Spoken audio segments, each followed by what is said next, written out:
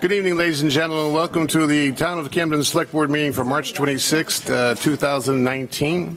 Um, Before we go into our agenda, I wanted to talk to- briefly about two agenda-related items. Uh, One is a, um, one of the agenda items that we have, we're going to propose to table, which is a discussion on the proposed legislation to change the minimum state shoreline zoning standards. The reason is um, this is a relatively very, very, very new uh, uh, legislation, and it seems like it's in the very formative stages. So I was, and there are going to be numerous workshops and things going forward. So uh, what I would suggest, um, uh, Audra, as we go forward and your staff determines it's time for the select board and the, and the public to read into this, and we could bring it back to the agenda, if that's okay with everybody.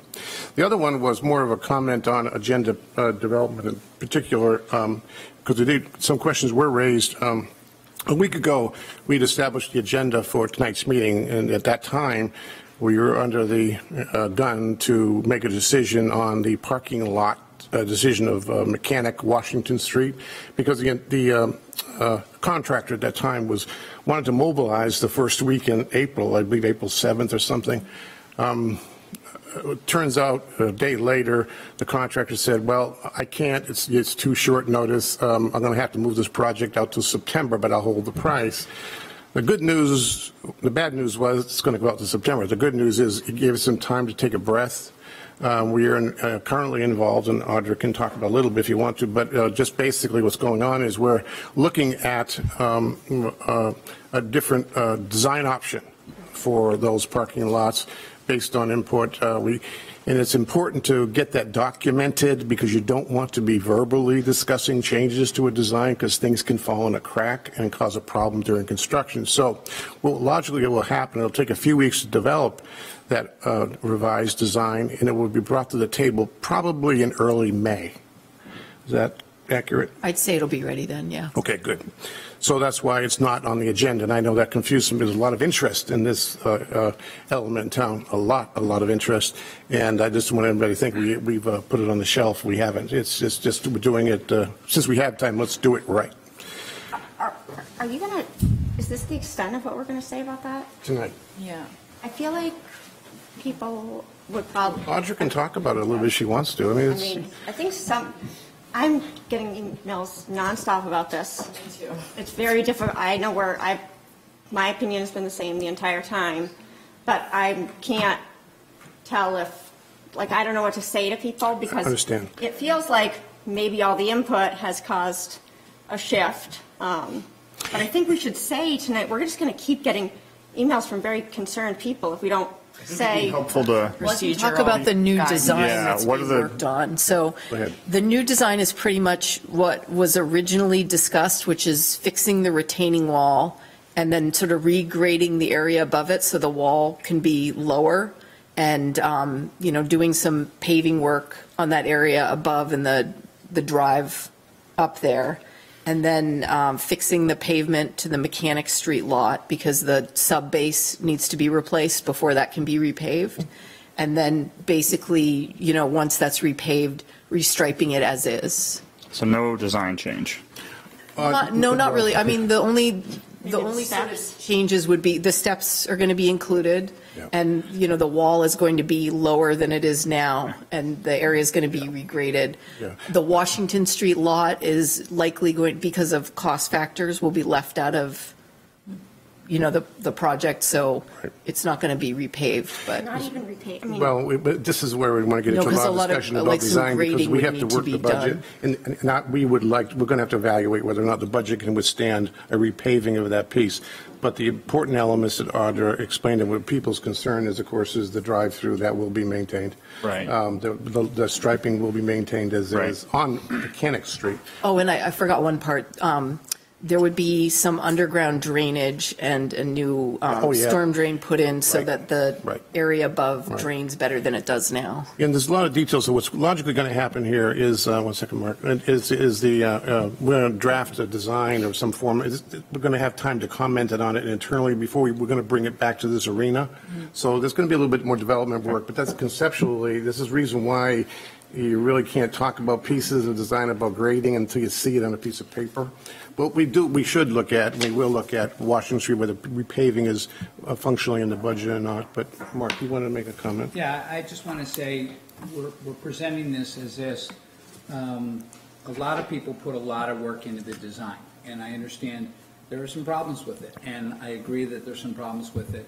But instead of sitting there and saying, this is the way it's going to be, without having those people that put years of work into this, to have them any kind of input and discussion about why did we make these changes? Why did we make this design? The fact that we've sort of said, well, we're just going to go ahead and do it, do what's there now. I don't think that's fair to the people that put all the work in. I think they should at least have, there should at least be, I mean, a conversation about, you know, so maybe there's a middle ground about the design, instead of just, well, this is the way we're going to do it, this is what we're asking for.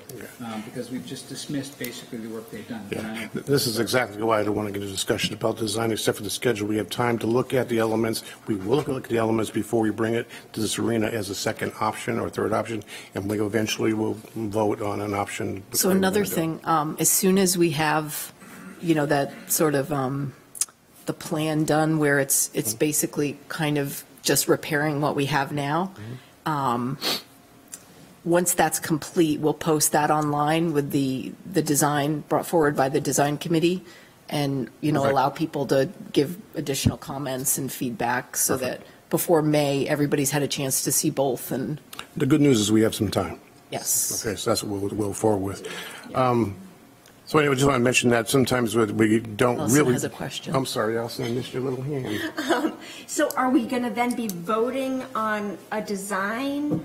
It seems like before we spend more money, I mean, we already learned that we've spent a fair amount of money with multiple iterations of design work. So mm-hmm. it seems like the concept, before we spend more money on that, the concept should be there so that at least they could have a directive of, is it okay to lose parking spots or not? Because to just put all this, go around and around and come up with this, n- another new design and then put them all online and then we're all gonna Well- vote on which design? Or at that, Guidelines. or at that point then, are we saying that we could mash the two designs together and then once again spend more money designing I really another- don't, I think that your, your kind of choices at this point, because time is not limitless, if you want to, you know, do the project this construction season. Of course, if you don't want to do it this construction season, it opens it up to whatever you want to do. But if the goal is to get this done, you know, by NITRAM during September, when they said they can still do it, you really need to make a choice between sort of an option which is basically repairing what we have and an option which is, there's a, a number of designs that have already been done for that parking lot, so we could put all the work that everybody's done, you know, it, it doesn't just have to be that one design that the design committee came forward with.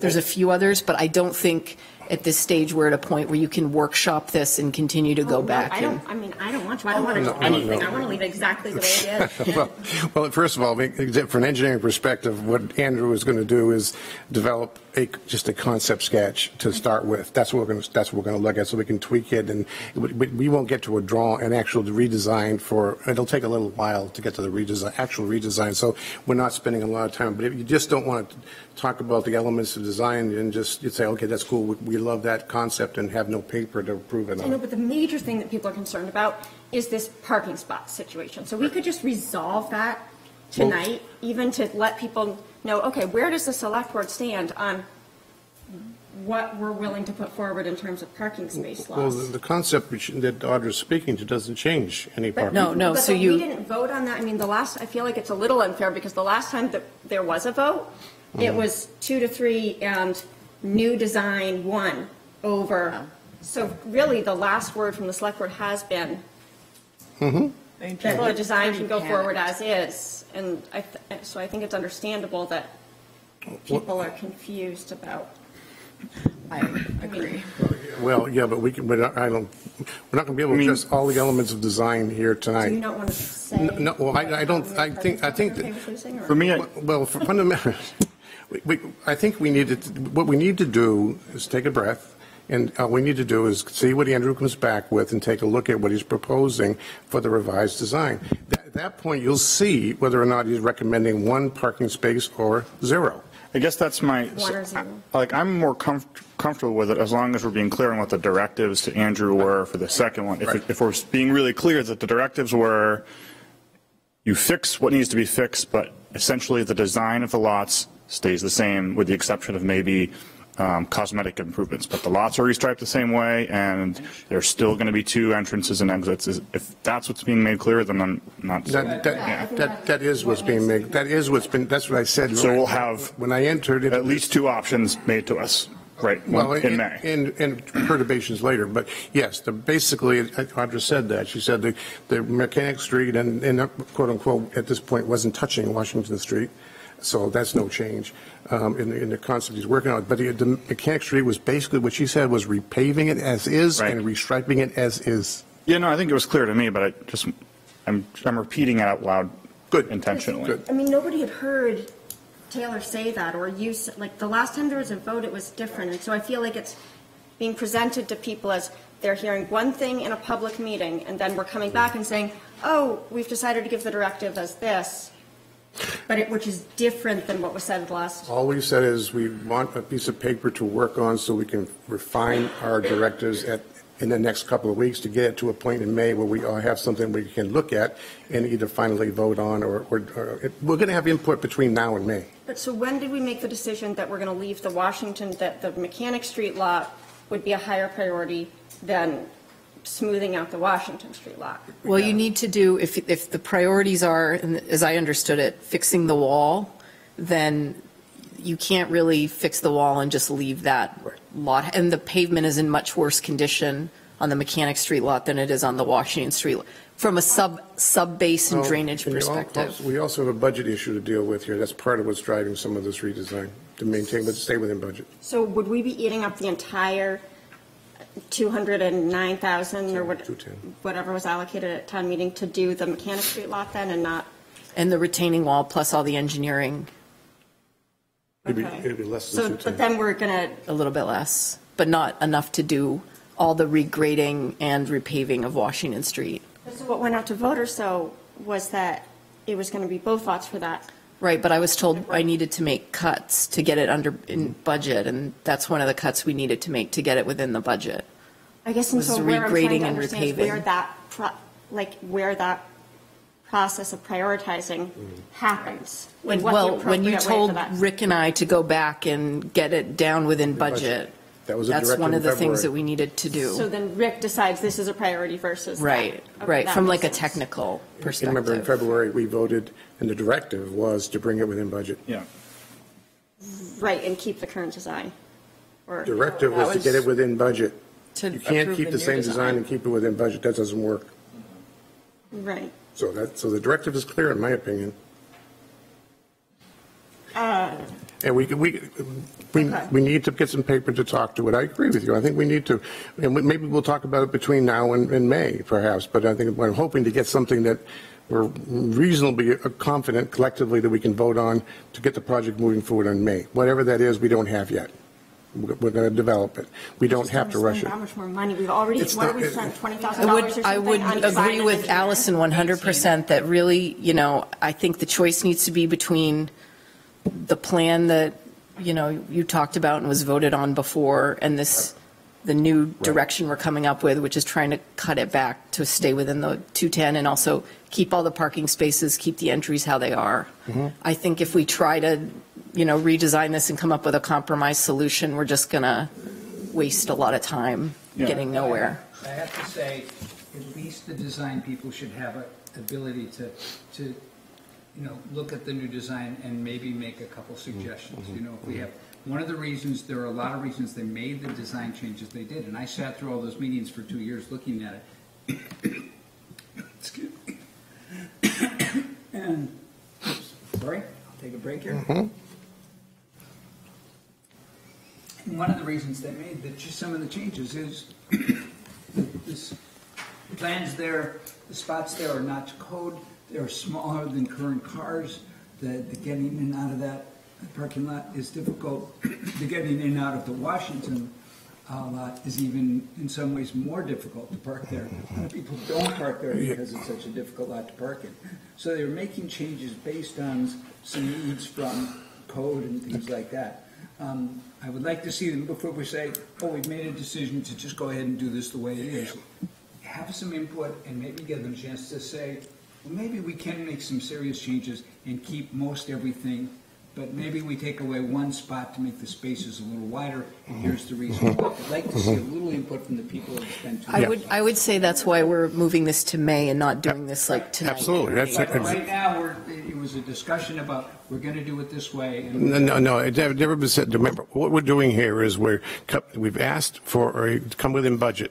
Audra and Rick have approached this thing with, an- with some ideas to bring it within budget, also to maintain some of the existing design elements, because that's going to be required to keep it within budget. So that will be discussed between now, discussed between now and when we bring it to the table in May.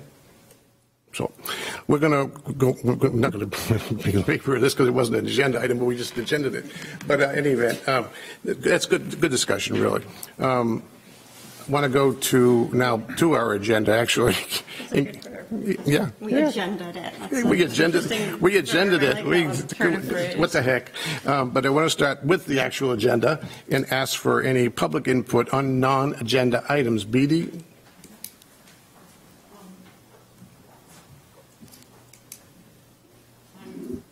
You got to press the, Press- sorry. Press the button. Thank you, Beedy. Green, okay. Okay, I'm Beedy Parker. I live at Washington Street, and I have a couple things to say uh, quickly. And uh, one is that a lot of people walk down Washington Street. We've just been through a ton of ice, and I've been going to each town manager for three town managers worth, and this is not to point to you at all. It's just, it's expensive to keep up the roads and the sidewalks and the drainage, and the more downpours we have, the worse it's going to be, and, you know, it, all the work that needs to be done. But I want to speak for this very slopey driveway across the sidewalk, which is the first driveway after Alden Street, and it's like that. And I've talked to um, architect friend Boston area. He says you really could get sued badly for that slope. And mostly people just go out in the street because if there's any problem, it's just you can't walk across a sideways slope if there's any It angles toward the street. yeah, and what it is is when uh, came, every they wanted everything to be as uh, cement, right, concrete. So there's asphalt in the driveway and asphalt in the street, and then there's this big concrete block which is going more and more and more. And if I were you, I'd just rip it out and put in asphalt, which would be cheap, and make the slope so we can mostly walk on it. I mean, not always, because it's always a slope, but it'd be a lot safer. And um, I, I think nobody just walks on it when slippery at all. So that's that's my set piece. I just have a little bit more to say, which is um, some of us on Historic Resources Committee are going around trying to get people to put date plaques on their houses so that they'll everybody will kind of value their houses more. And this is an effort to get raised sensitivity to the way the town looks, how it feels, sort of the New England look. And I'm going to be doing with another friend the, the, the wrong side of Route 1, which is up Washington Street and Mechanic Mountain.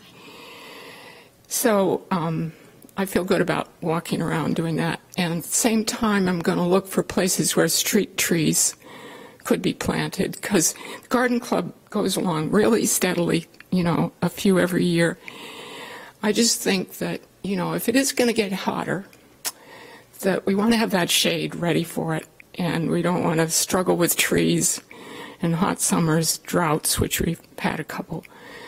And uh, we maybe could speed up some shade tree planting. So we're going to look for locations and, you know, don't have any plan of how to do it or money or anything, but just sort of see. You got there.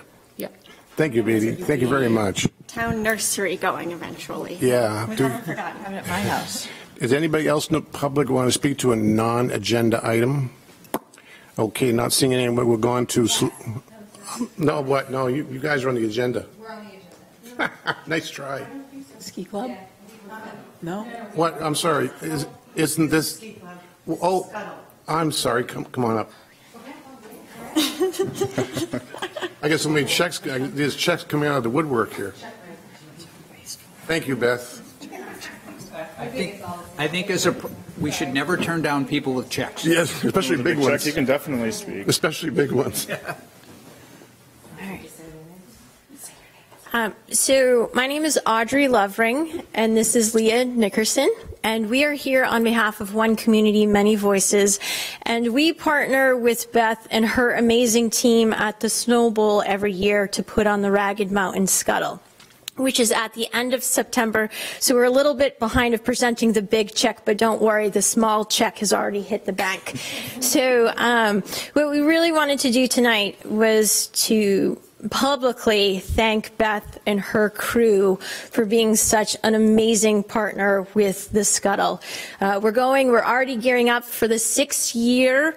Last year we had over 350 people across Maine come to the Scuttle, experience the Snow Bowl, um, and had a wonderful time.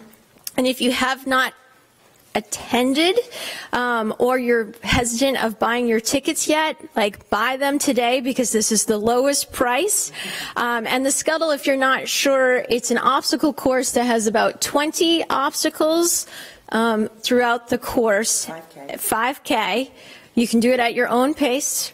Um, any type of person with any kind of background of um, level of exercising is um, is welcome to join and excel. And what has been really for us at One Community, Many Voices wonderful is that we're able to give money back to the Snow Bowl more than what our contract has because they're such an amazing partner. And this year we're giving 4,500, which is rightfully so. And it is going again to the fourth grade ski program to help um, invite more kids to participate and to learn how to how to ski. So we just wanted to thank Beth and say get ready because we're gearing up for year number six. So Thank you. thank you. Very much. Guys. I'd like Just to say, I, I was out of town in September, and when I was out of town, my wife and son decided, my 12-year-old son at the time, decided to go participate in the scuttle. And my son beat my wife, which she was sort of upset about. Um, But they had a great time and loved it, and, uh, you know, I was sort of glad I was out of town because he would have beat me too. and- Yeah. Um, yeah. Otherwise, nobody will hear you. Otherwise, nobody will hear you. Yeah. What type of obstacles are we talking about in the scuttle, and can s- older people do it comfortably and I so would- forth? And what did you do to get congratulated for Oh, I'm, Everything. I- I'm Beth. I work at the Snow Bowl. snowball? Yes. And so that's why, oh, I Yeah. see, okay. Um, Come so okay. the So- obstacles vary from anywheres of um, carrying a sandbag up a hill, which apparently I marked it and I only went halfway up the hill and got so many complaints that people wanted to go, it wasn't hard enough, so be prepared. There's two levels this year um, to climbing over walls, and there's a wide variety. Um, and what is amazing that through the five years, we now have a partnership. And I'm going to apologize in advance if I do not have their title right, but it's part of the industrial program at the prison. So um, we work with them to uh, produce some of our obstacles that then we can leave and have permanently on the mountain for people to use year round. So it's been a great way of building partnerships throughout Knox County to, to help. So. And here's a, tr- any age can do it. And here's a little trick. Do as much as. You can do as much as you want. Like, if you don't like it, like, there's certain things that kind of make me nervous, and I just go around that obstacle and keep going. Yeah. So you don't you don't have to complete every obstacle in order to get whatever, a certificate of something You accomplishment. get a fancy And- medal. And, and how much do the sand, how much do the sandbags weigh? There's three different options. What's the lightest one? 10, I think. Good. Yeah. I got a 20 pound limit. You're There ready. You I can tell you're ready. Right. You're ready. Yeah. And one more comment. That uh, chairlift thing that you do Yeah. in the fall, I assume you're going to do it again? Yeah. That's awesome. For all ages, including babies going up and you see Sure, them coming, sure. they're all smiling and we're talking to them on the way up, you know. it's Cool. like- it's great. Thank you. Thank you, sir. Thank you. So, Congratulations, Beth, for all your hard work, and thanks, thanks for the check. Thank you, so- guys. and I, that's I just, wonderful. I think it's important that oftentimes you hear complaints in City Hall, and we wanted to show that we could not even come up with this idea without Beth and her team. I mean, it's just amazing, and it's fun. I mean, for, a good time. it's a good time. So, It's always nice to hear good news. yeah, September? Uh, what- Plenty of time to train. 29th. September 20, September 29th. Yep. So, Thank you so So much. thank you. Thank you for coming. thank you. We would love good news. Yeah, Here. Yeah, let's do it right here. all right. Yeah, so if you could stand in the picture too, that would be, No, that's, it's for Beth. that's right. It's for you. It's for her hard work, not ours. Get Taylor out of there, please. Thank you, ladies. Thank you very much. Congratulations, Beth. Uh, Are there any other public input on non-agenda items that I've missed? Apparently not. On to select board reports. Um, Taylor, do you want to start? Um, yes, um, I'll give a quick update um, on the Inland Harbor Mooring Group. Um, we met again two weeks ago. Um, Paul Lieber was going to come tonight, um, but I think due to the large agenda, I, we're going to hold off um, until next time, maybe the time after. But we've been ma- making good headway. Um, we're working off of primarily off of an ordinance that the town of Harrison drafted um, a few years back, and it's been tested in court and pretty simple, and um, the state likes it as well, so that's given us something to start from a simple, um, a simple place, um, focusing on just two mooring areas um, that exist now and moving them a little bit um, to make some room for the rowing club and to make things a little easier at Boggs Bridge, and um, we'll see where that takes us, but um, everybody seems to be on the same page as of now. I have a question about Yeah. that. So are, you- are you jumping right into like, let's have an ordinance? Or is it, was it explored, do, like, the thought of, do we need an ordinance? Yeah, I Or- think, I, th- I think in talking to the state, an ordinance feels like it's the best way to go. um, Simply because it gives, it gives the town teeth to be able to deal with it, should we have to. Um, That said, I think everybody agrees, the simplest, the simplest, the, the better. Um, And um, just not getting out ahead of our skis, but. Have you settled on like, a, this is our goal? Or the, this is the major problem that we want to solve and this is, Yeah, the, so is there an agree, like? I mean, I think our mission, our mission after the first couple of meetings was to focus on, the primary concern was overloading the moorings that are out there now, because there's no regulation for moorings as, as it stands. So theoretically, anybody could put a mooring anywhere they want with the exception of following state law, and there was, I think the big concern was that we we're going to see, you know, double or triple the amount of moorings that's out there, and that became an issue for boating navigation, for swimmers, and um, just a conflict of user groups. So um, where we've, there's a pretty good cross-section of people that represent different user groups on the board now. Um, I think that uh, where we've landed is um, two areas for moorings that would be defined, um, keeping the one in Barrett's Cove where it is now. Um, There's a member of the rowing clubs board on the committee, so we've been talking with him about how, how we can define that area so that it doesn't affect the rowers coming in and out, and so we're staying away from the swimming zone as well. Um, It'll, we haven't quite figured out exactly what that area is going to be, but um, it won't change too much from what it is now. It's going to be a matter of figuring out how many, how many moorings you can fit in, inside the area. And then Boggs Bridge, um, we're looking at actually moving that um, a little farther up 105, so it's not, in- not in viewscapes, and so that um, there's a little bit deeper water and outside of the channel. When is your next meeting with this? Uh, we haven't said it yet, but I, it'll be in the next two weeks. Yeah.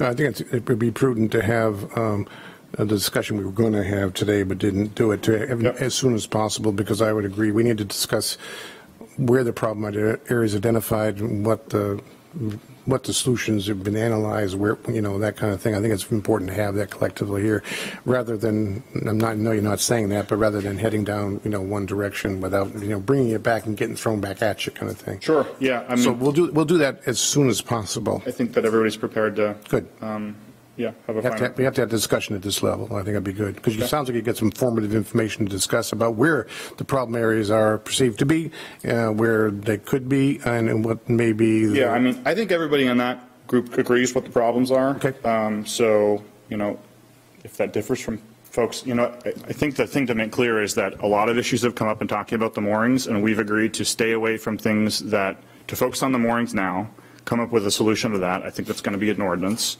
And then, obviously, through this, the conversation of looking at the, the moorings, other issues have come up, other safety issues, other user group issues, and that we, once the mooring, once we figured out the best way to deal with the moorings, that a list of other potential um, user group and access issues will be presented to the select board, that, hey, we want to talk about these as well. This committee can still go forth and work on that after we've solved the mooring issue.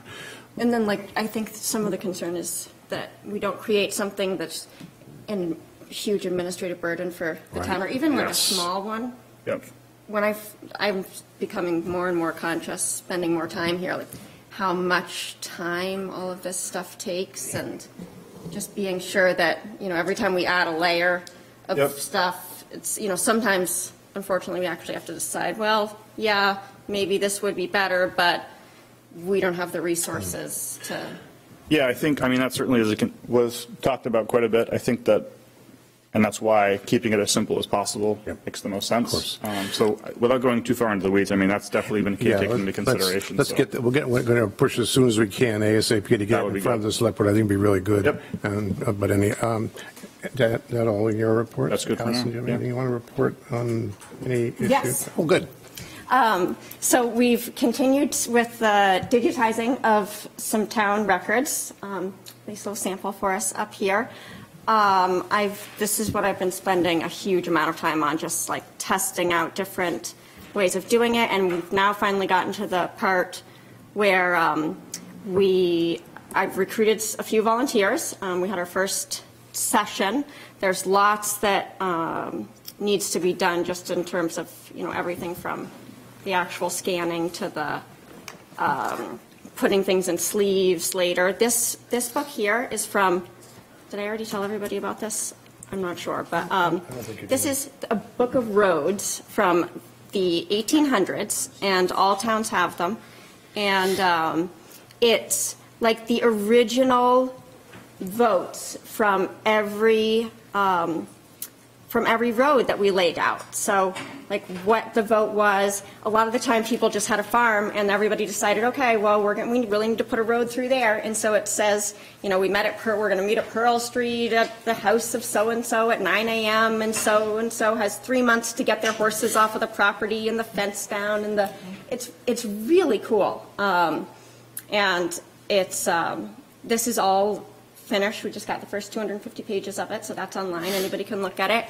Um, and then the other parts of it are things like um, the no, there's town meeting records, um, select board minutes, um, and these are all like typewritten. And it's been really interesting to go and like look at how the the job of select board has evolved over the years. I mean, they used to spend Or not.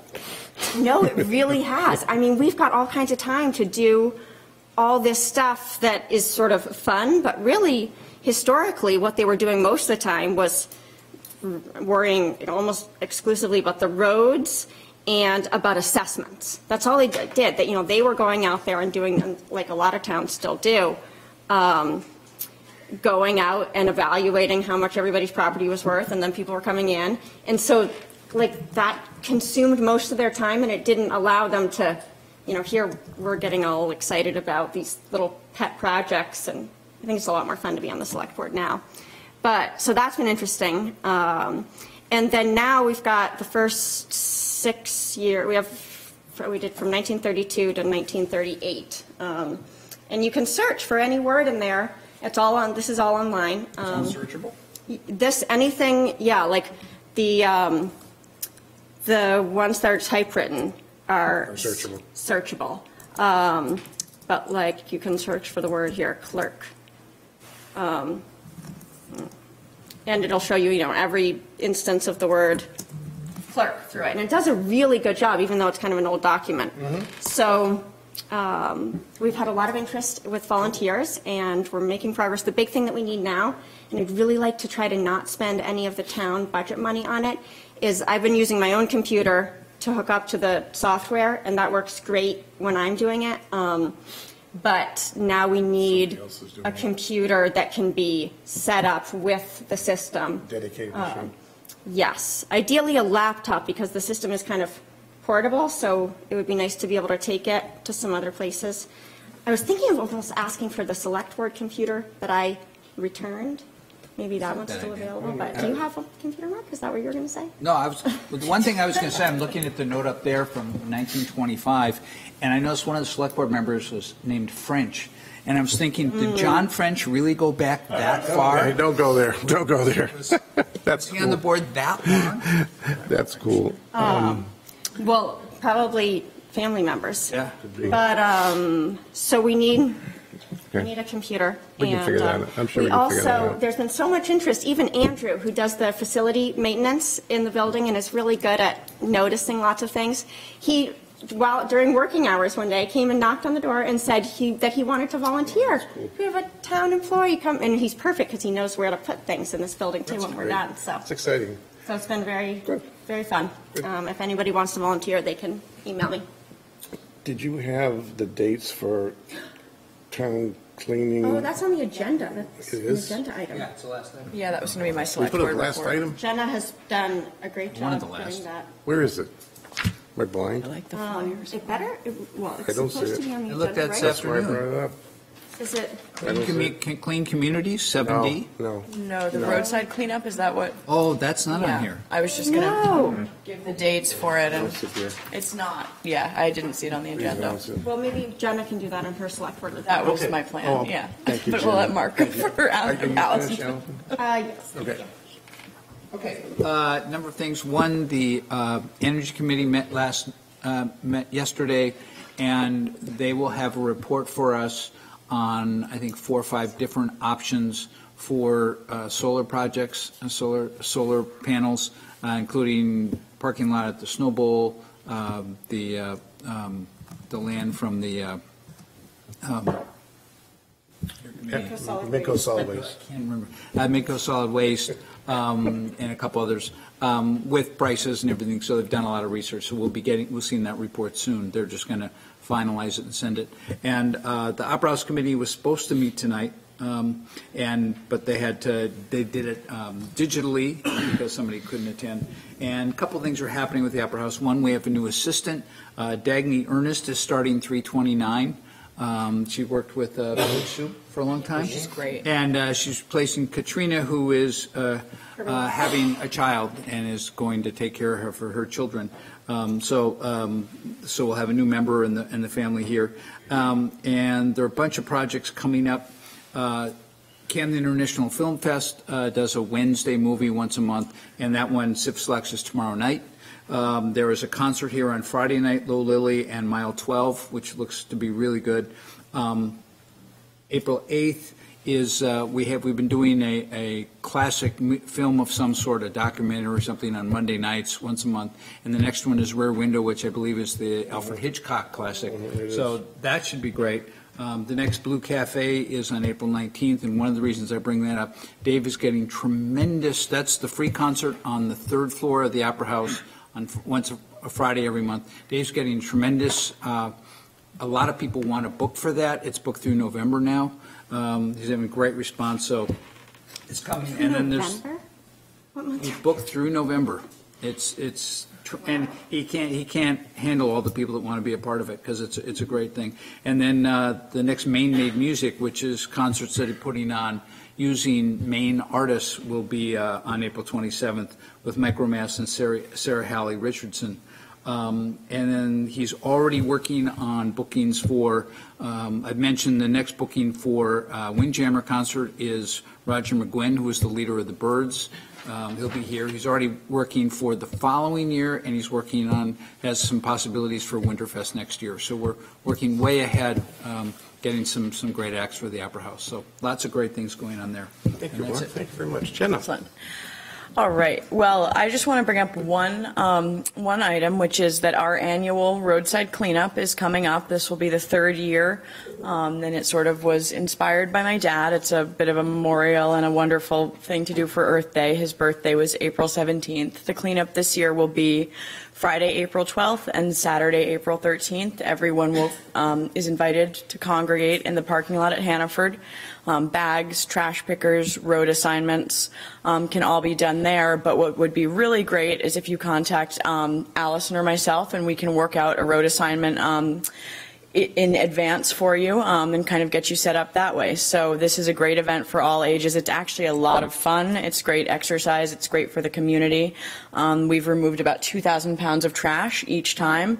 Um, and it would be really fantastic to set a record this year. I've noticed a lot of litter as the snow has melted, and um, Oh, yeah. I just have to say, and there's we have it. We found Allison found this quote on Facebook from my dad, but he has always said there would be no greater gift for his birthday than if someone would just pick up a piece of trash, and so we've tried to honor that um, by doing this event. And there is a Facebook event um, for it as well, and we'll have some flyers and press releases. So everyone's welcome to participate, no matter where you live. Bring your kids. Um, it's just it's a really great community event, and really we really appreciate everyone that participates, including the town. That's a Friday and a Saturday. Friday, it's, I did, it's Friday, April 12th at 9 AM. Um, we usually go, go until about noon, although we welcome people No, to that go one's all- later. Usually all day. As Oh, that long one, as the can- Fridays, can- and then Saturday we do at nine, we do at 9 o'clock at Hannaford again. Um, and so it's, it's Friday and Saturday. Cool. April 12th 12th and and April 13th. 13th. And come for one day, come for both. Provided for the workers? Um, no. Sometimes It's- when we're really organized, um, You find Hannaford something on the donates side some of the road, things. you're welcome to drink it. I mean, there's like an unopened can every now and Yeah, be, then. be careful. Uh, Sir, you- nobody can hear you, so you- if you might come up here and talk, it'd be fine. This has to do with the side of the road. You- Could you give us your name, please, for the Ron. minutes? Just first name or last? Both. Ron Stasiowski. Thank you. Just moved to Camden recently. Welcome. Living in Mountainside Park, a great place for over 55 and above. I'm over 55. Welcome. As everybody can probably tell. Anyway, walking, I walked from the park to the bus barn. I found I'm doing, started to do a tutor thing for, oh, The Zenith it used to be called GED, but now it's, no, it's close. Adult ed? Yeah, but it's, it's equivalent, it's a new name for a GED. Oh, I'm yeah, helping, the- going to help somebody with math because I'm a math counting major. We all did all that kind of stuff. So I met with Nancy Dickerson. Probably know her from the school. Mm-hmm. She was nice. But anyway, so on my walk along 52, all down, there's all Oh, kinds awful. of cans 52 is one of the and worst. bottles and plastic bags and all that. Now, Yep. When it starts to dry up, I've been picking up some stuff in the past. I know, because it's pretty steep going down Well, in not there. just that, sometimes you don't want to pick some things up. Well, I wear gloves, I wear gloves and, you know, a few bags. Yeah. But but anyway, uh, does the town have anybody that goes along there? I don't want So that's to what be we, interfering with, say, if the town's going to be picking up stuff, because it's a No, state, no, it's a we are all going to state. need volunteers for Collective that one. Effort. It's a collective effort with the litter cleaning up, and, and my, that was sort of my dad's habit, was he'd walk around and pick Yeah. up trash and stuff it in his pockets. It wasn't an organized effort. So we've in, made an effort to, um, con, to s- consolidate it, um, or to make it sort of an event, but everyone who wants to pick up litter, that's sort of the spirit that You're this is welcome formed to in. it. I've been So doing that thank for you. years, wherever we've been living, Wonderful. you know, in the neighborhood Right, especially. And um, I forgot the other question we had. Oh, so it's a state highway. They don't do that sort of thing They- anymore? they They used do. to They were have out like there some, today doing some some from the, road from the prison come do by some. and drop them off and they go, They do do some, but it's It's not, really, it's very limited. most of that is when we've called and asked and gotten a whole agreement, and we, we pay for their lunches, and Mer- Right, Mer- right, Marcy right. has organized a lot of it in Yeah, Rockport. so, isn't that worth it us. for like Route 52 because it's pretty steep? Taylor did and it- Route and it's 52 deep- last time. And it's, Taylor did. and it's, you have Turnpike to be Hill. careful going down those steep banks Yeah, we in some do. Places, so that's why I'm and thinking. signs and- Safety vests, trash pickers, we, signs, we, yeah. that's why we do it. It's a pretty good What, operation. what was that? What do you do? I didn't get that. We have a whole safety system. Taylor's a firefighter too, so we send him Okay. out on Route 52 to oversee sometimes. But we put out the big signs and Where do you put these And signs and how? road. we follow all this, you know. you- But you don't have to do the, we, sometimes for some people, we give them a very safe road assignment. Right. And and how do I go about doing that from? Come at Just- nine Just come at 9 on the o'clock on the 12th. 12th Oh, so it's 13th. Just show up. specifically those two days, so you Yes. can go wherever Yes. you want? Yes. Pretty much? Um, we And then- You can coordinate with these two Yeah. young ladies. They'll figure out a nice spot for you, hopefully nice and grassy and flat. Great, okay. Thank you. Thank you, John. Thank you very I much. just want to ask, sir, I want to ask you one more question. How did you choose Camden as a place to come and live? I'm always curious. I mean, you know, Camden. Well, we lived in Nobleboro, and it was a big old house that Right. was Okay, so you're from, from the area. kind of fell falling apart, so we wanted, we're scaling down, and that's hard Makes to sense, do. John. Another feeling. Thank you, John. Um, was that- Did you did you finish up with your? I think that's what I've got Okay, for cool. now. A couple of things, a couple of things on the uh, select board, uh, well, this, in this area. One was um, this tomorrow, no, I'm going to make it Tuesday. Thursday is our last budget committee meeting night. It ends up. um, um, So um, one of the things we wanted to propose to is have a workshop on Monday or Tuesday, just to discuss the overall budget thing. I know Mark's not going to be available. But This is not for voting on the budget. That's going to be another future select board meeting when we have to actually approve it, and send it forward to, uh, for the town meeting. But um, are you, are you all available Monday or Tuesday? Is either day better for you- anybody, or time of day Tuesday. better? Tuesday? Time of day better or not? I'm open both days. For how long is this? I'd say it'd be about an hour, an hour and a half. On Tuesday, with the um, April 2nd. Um, I think so. This is norm- normally the Why don't- part of the meeting where we set our schedule, so No, I'm I- kind of not in the, Well, well, what- let's tell you what, we'll we'll just peg for now, uh, April 2nd at 10 a.m. Okay. And then we can change it. Just, just want to kind of be in your mind, keep the- sometime in the morning on April 2nd. okay. All right. What agenda items? was just select board reports, there's no place on it for schedule.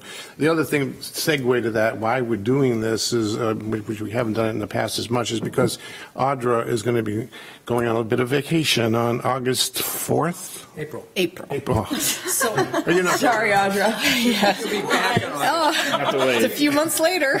No wonder you weren't too concerned. April 4th? You know. April 4th. Because she's, we want to make sure we, and she's going to be gone for a couple of weeks, so um, we want to make sure we. Couple, three weeks. I didn't want to advertise it too much, because somebody will steal all our stuff in our office. Oh, Um, good point. But, but I'm just kidding. But, and that's a segue to the other item I wanted to, uh, Audra to address, and that is in her absence. Um, Yes, so we'll- Jody Hanson, the finance director, will be the acting manager while I'm away. So all of my, um, my, my email will be set up so it's forwarded through to Jody and it, it gives an out of office message to anybody who tries to get in touch with me. I'm going to be 15 time zones away, so hard to,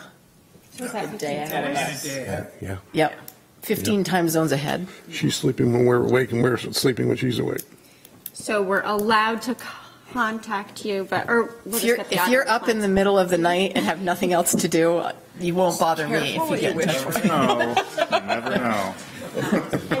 But I probably won't answer. Some folks have walked We don't need to do anything. I feel like might wanna tell- in the past, Table that. in all the boards that I've been on or witnessed, oftentimes there's like, uh, when, during these periods, there ends up being confusion or something comes up that so-and-so is not really authorized to, do we need to do anything to officially authorize Jody to be like, fill in for your role in Midco Solid Waste, for example, or I don't, if we, No, I just want to, I'm sorry, I interrupted you. I was very rude. No, or maybe you interrupted Audra, I don't know. Um, I don't believe so. I think that, you know, we just appoint her as the acting, and she'll have all my signatory authority, and And then we just want the public to know, and also select board, if you have any comments or issues, please bring them up now, because that's what's going to happen as of April 4th.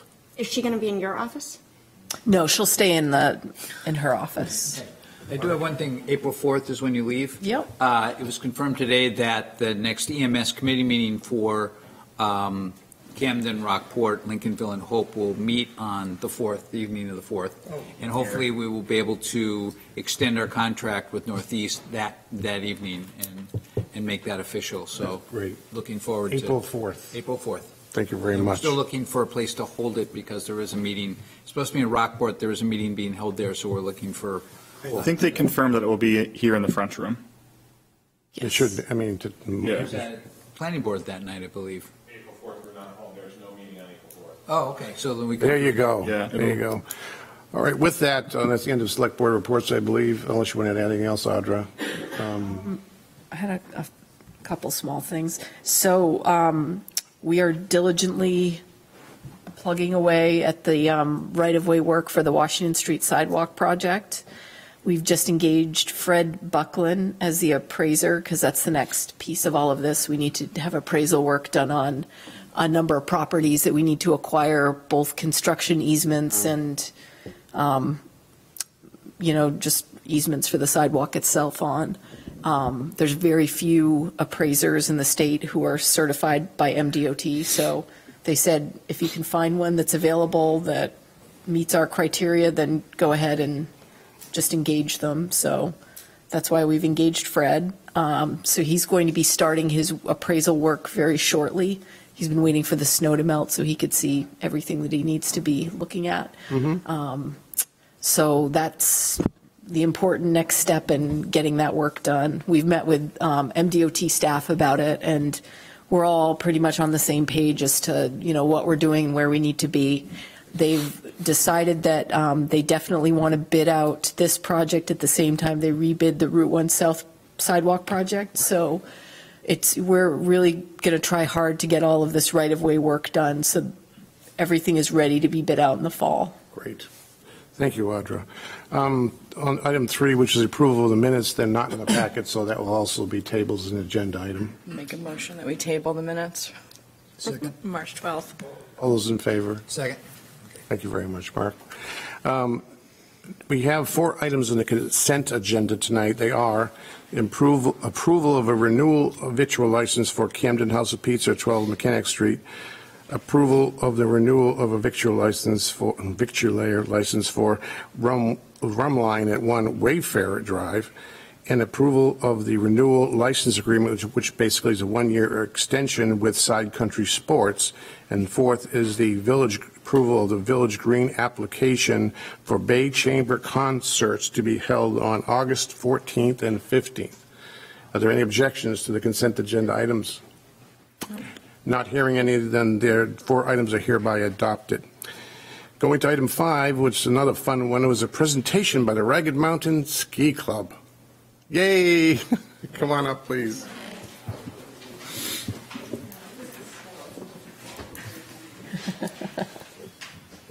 I didn't know it was a presentation, but I'm actually glad to talk about the Ragged Ones. I think it's a good idea. Because I've heard you don't know enough about it. We don't. Okay. So I brought some notes to keep me straight. So my name is Wendy Zwecker. I have a little bit of a cold, but I'm the president of the Ragged Mountain Ski Club. Welcome, Wendy. Thank you. Um, first of all, I want to talk about who we are. We're a nonprofit group. Um, the board is made up of eight volunteers. Three of them are Camden residents. The rest of us are Rockport, Owl's Head, what have you. Um, and we have 133 members this year. Um, and that's grown steadily since 2014 for the Ragged Mountain Ski Club.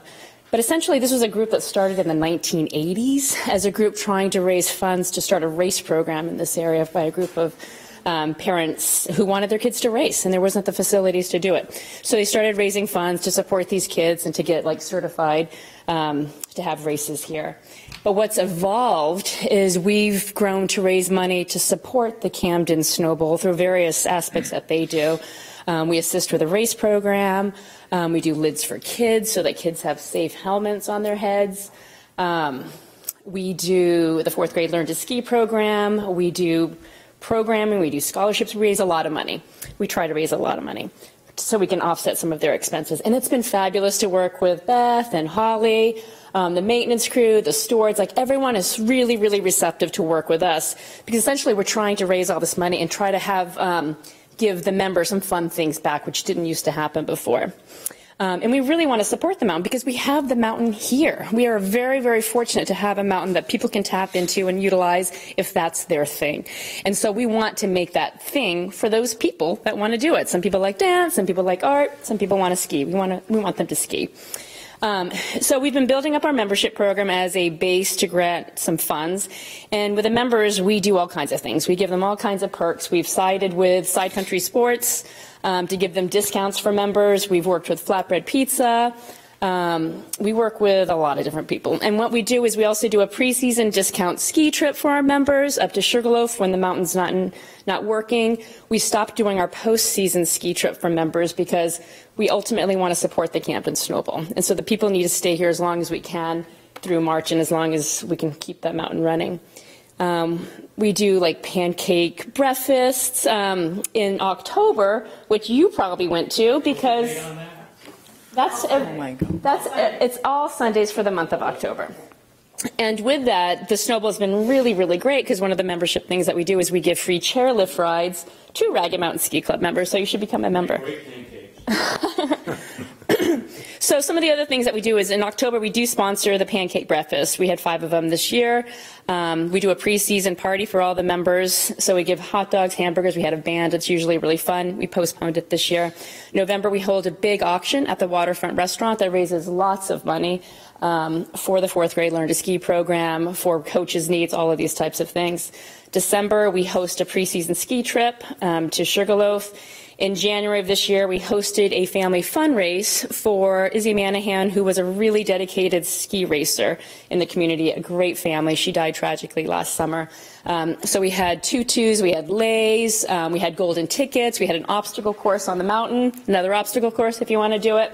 Um, and we had hot dogs and hamburgers that we gave to all members. So it was a fun way to get people onto the mountain because that's really what we want to do. We want to bring the community together in a fun way on the mountain. Um, Question? Yep. How do you become a member? So at the pancake breakfasts, we do have membership cards and stuff that you can sign up right there to become a member. And I think, well, comfortably, you are part of that. So you can get it there. Um, online, we have had the form before, but typically it's through these different events that you'll see the membership form. Or you can email me directly. A lot of people do that as well. Um, and they're like the, at the auction and all these types of things, you get it. And once you're a member, you get insights into all these events that we host because we host a lot of events and you should come to them.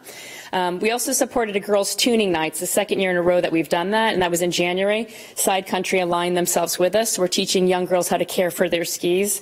Um, and then we feed them and do all these fun things. January through March, we provided cocoa and marshmallows for all racers because it's Friday night racing at the Snow Bowl. So we wanted to have cocoa and everything there and a fire pit to make everyone comfortable and happy. And then we do flatbread pizza on Friday nights as well. Um, and this year, again, we raise all this money for the Lids for Kids, for the fourth grade Learn to Ski. And that program also, it supports 14 different schools in the community, which we want that to grow because again, it takes one kid to want this one thing and to get them off their computer devices and to get them outside and doing something that's really helpful and healthy for them. Um, so we sent letters home with all the fourth grade and fifth grade families this year to talk about the Ragged Mountain Ski Club as well as for scholarships because we want to support a lot of these kids and what they want to do. Um, and we also want to put this information into local letters. We do give a lot of money to scholarships. We want to give more money for families for scholarships. This year we supported 18 families. Um, seven other families qualified, but they didn't redeem it. Anytime someone asks to have a scholarship, we ask that they give a little bit towards it so that there's some skin in the game. Um, and then we also use them as a volunteer base for some of these events that we support. Um, and next year, Oh, and we also worked with the schools locally to make sure we could identify students who weren't filling out these scholarship forms so that the nurses and the teachers could tell us who would benefit from something like this within their own household. Um, And we want to grow that program a lot more. We want to take these fourth graders that are doing the fourth grade Learn to Ski program, and we want to help them in fifth grade. We want to help them in sixth grade. We want to help them in seventh grade. If that's what they need, we want to help them. So we have increased our scholarship member, um, our monies towards that to to 10,000. We want to give like $10,000 worth of money to kids if they need it. We want to help them. Um, And again, some of this money goes to coaching needs. We've subsidized the middle school Nordic ski program this year. Um, We've done race equipment. We've done a lot of things. Um, Next year, we want to build a scholarship program. We want to start with lessons for kids that don't have that opportunity. We want to- integrate them into programs, whether it's freestyle, racing, whatever it is. We want to integrate them into that. We want to upgrade to the passes. And eventually, we want them to be a steward of the mountain or a supporter of the mountain. We just want to grow their love for what we have right in front of us. And we have to start with them when they're really young. Um, we want to do a lot of outreach with the community. You guys were great this year, how you supported that Wednesdays for the Camden residents. We want to take it a step further. We want to support, we want to have ski clinics for any of the towns that support the fourth grade Learn to Ski program, we want to bring in adults. Like if you haven't skied, you want to try, come on in, because ultimately you'll have a believer in the program, you'll have a believer in the mountain outside of the ski season. You'll have a believer that wants to hike, that wants to bike. So we want to create that through our endeavors. Um, we also want to support the coaches more at the mountain. They do a lot of good stuff, and you guys are really lucky to have this coaching base. And so, if it doesn't fit in the budget for what can happen for the coaches, we want to support them in a way that the Camden Snow Bowl and their budget or the town can't. Um, we also want to get a shed on the mountain for the Ragged Mountain Ski Club so we can actually store our stuff in our own space. Um, and we want to have more small fun perks for the mountain and continue doing what we've been doing. So as a result of all of our efforts and the result of what we want to give back, we do have a check this year for $19,023 for the Camden Snow Bowl. Wow. And do you have any questions? I did feel like you guys didn't really know what the Ragged Mountain Ski That's a really polite way to Thank start. you, Wendy. You worked so hard all year round. So I didn't, I didn't realize the extent of all of it, even though I think we are members, but, um, You are members. We have t-shirts at home, I know that. Some of you others. Would you have any other questions?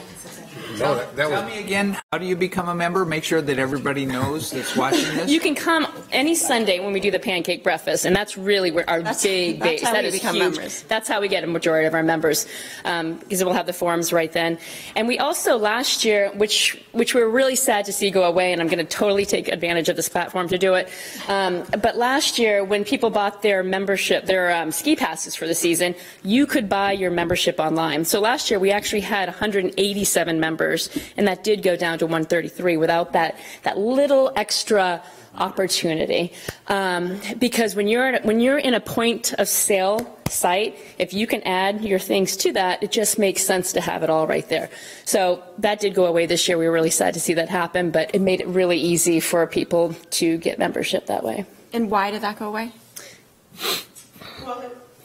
Or if this is, is this like a really controversial topic or something? Maybe the I, question, you got, it should come from the source. maybe the question is, how can we have it come back? Or maybe we need to be know. I don't know, maybe there's a good I think reason. there was a reason because we switched the credit card processing. We were eating all their processing. Uh, There was a little bit of conflict of interest there possibly. I'm, I'm not sure. But when we switched over to the new credit card, that's when we were like, well, our, we could, we could go back to it because we are putting the processing on the customer. So, uh, The cost of the processing, I Yes. see. yes. I see. So that's why. Thank you, thank you. It would It cost could them be more. revisited. There you go. Thank you, Wendy. You're welcome. Thank you. Great presentation, That's all thank you you. Don't forget, that we want the check. Thank you very much. Uh, Next on our agenda is uh, a a public hearing for four applications. Uh, The procedure for holding a public hearing is um, to get- give the public a chance to comment on any of the applications. Uh, Please, we ask any speaker from the public uh, to uh, come to the speaker, uh, to the microphone, give a name and uh, make a brief comment on any application. After all the public has spoken or uh, wants to speak has spoken, I will close the public discussion and revert to the select board for, for action, discussion and action on each of the applications. Please keep your comments brief, um, no outbursts, no applause. We're trying to get some business done here. So uh, with with all that said, um, unless it's applause for us, then it's allowed. But um, uh, the, um, the first application we have is for, well, actually, we're going to take the first two as a batch because it's for the same entity. It's the application of the Port Clyde Seafood Company doing business as Rhumb Line at One Wayfarer Drive for the renewal of a Class 1 restaurant liquor license, and also for the same entity, uh, Port Clyde Seafood Company doing business as Rhumb Line at One Wayfarer Drive for a special amusement permit. Is there anybody from the public who would like to comment for, against, or just to comment on any, of either of these two? Or on those, I don't see any hands, so on those, on those two, I will close the public hearing portion and revert to the select board. Are there any comments from select board members? I make Uh, a, m- oh, Please do. I would make a motion. Would you want two motions or one for both? I think the same company with, uh, with two licenses. Okay, I would make a motion that we approve the application of the Port Clyde Seafood Company doing business as Rhumb Line uh, for a renewal of a Class 1 restaurant liquor license, and also approve the application um, of the same company for a special amusement permit. Any comments? All's in favor? Five zero, good. The uh, third uh, one is an application from John McCluskey doing business as the Camden House of Pizza, 12 Mechanic Street for a renewal Class 1 restaurant liquor license. Is there anybody from the public who would like to speak to this application for, against, or in between? No hands. I will close public comment, revert to select board comments, if any. I will make a motion that we approve the application of John McCluskey doing business as Camden House of Pizza uh, for a renewal of a Class 1 restaurant liquor license. Discussion, sorry, we'll get in. Discussion? No. All in favor? Five zero. Thank you very much. Lastly is, but not least, is the uh, application of the Camden Harbor Cruises at one public landing for the renewal vessel liquor license cruises. Any comments from the public? You got to say something, Dominic. You want- Yeah, Sure. Well, sorry. Introduce yourself to the public and tell us what you're doing. Hey, I'm Dominic. Uh, my wife and I own Camden Harbor Cruises, the vessel Lively Lady. Um, we, a lot of times people hear that we have, we serve beer and wine on board. They say, oh, you guys do booze cruises. No, we do not do booze cruises. Uh, it's kind of an amenity thing. You know, parents are on vacation, their kids are enjoying the lobstering, they get to have a glass of wine, maybe relax for 20 minutes on vacation. But that's kind of really more or Tell less tell what us, it is. tell us more about the boat and what the cruise entails. Uh, well, it's a 40-foot wooden lobster boat uh, built up Bass Harbor, and uh, we just do eco tours, seal watches, lobstering trips, um, lighthouse cruises, pretty popular. But uh, yeah, it's uh, more. It's a real educational cruise, and we give a full narrated tour. So we have a tour guide on board or a naturalist with a microphone, and it's uh, Thank you, yeah, it's a lot of fun. Thank you. But it's not a booze cruise. I understood. Say hi to. Take requests too, or do you just have your program that you? Yep, yep, we do, well, we do private charters, stuff like that. So there's, there's been, uh, I think, probably the closest thing we've had to a booze cruise was PopTech. They chartered it on their last night. That that was fun. But uh, other than that, yeah, it's pretty Thanks, low-key. Dominic. Say hi to Liz. Um, If there are no other comments from the public, I'll close the public hearing and revert to the select board. Any comments in select board? I will make a motion that we appro- approve the application of Camden Harbor Cruises, uh, one public landing for a renewal vessel liquor license cruises. Uh, Second. All's in favor? Five zero. With that, we will close the public hearing revert to the, uh, congratulations, Tom, uh, revert to the agenda, which is item seven, and basically just the uh, approval to schedule four items, uh, ordinance de- uh, development, uh, to public hearing at the select board for April 9th, as I recall, is the, cor- yeah, April 9th, correct? And they would be the zoning ordinance for marijuana cultivation, zoning ordinance for formula-based foods businesses, food sovereignty, in the clean communities ordinances, which will be, uh, again, all we're doing is announcing it. And By, by three of those went through planning board approval, if I'm not correct, is that right? Only two? Two. Only two needed Two, to, two, the that's right. marijuana cultivation and um, formula-based food. I could give you a summary if you'd like. If not, we can, Um, The select board so desires, I think they're all pretty familiar with all four. Um, Yeah. um, I'll probably do that on April 9th. Are you guaranteed? That would be- Guaranteed. So do I hear a motion to move those I make a motion to schedule the public hearings for ordinance amendments for A, the zoning ordinance for marijuana cultivation, B, the zoning ordinance for formula-based food businesses, uh, food sovereignty, C, and D, clean communities. Second. Any discussion?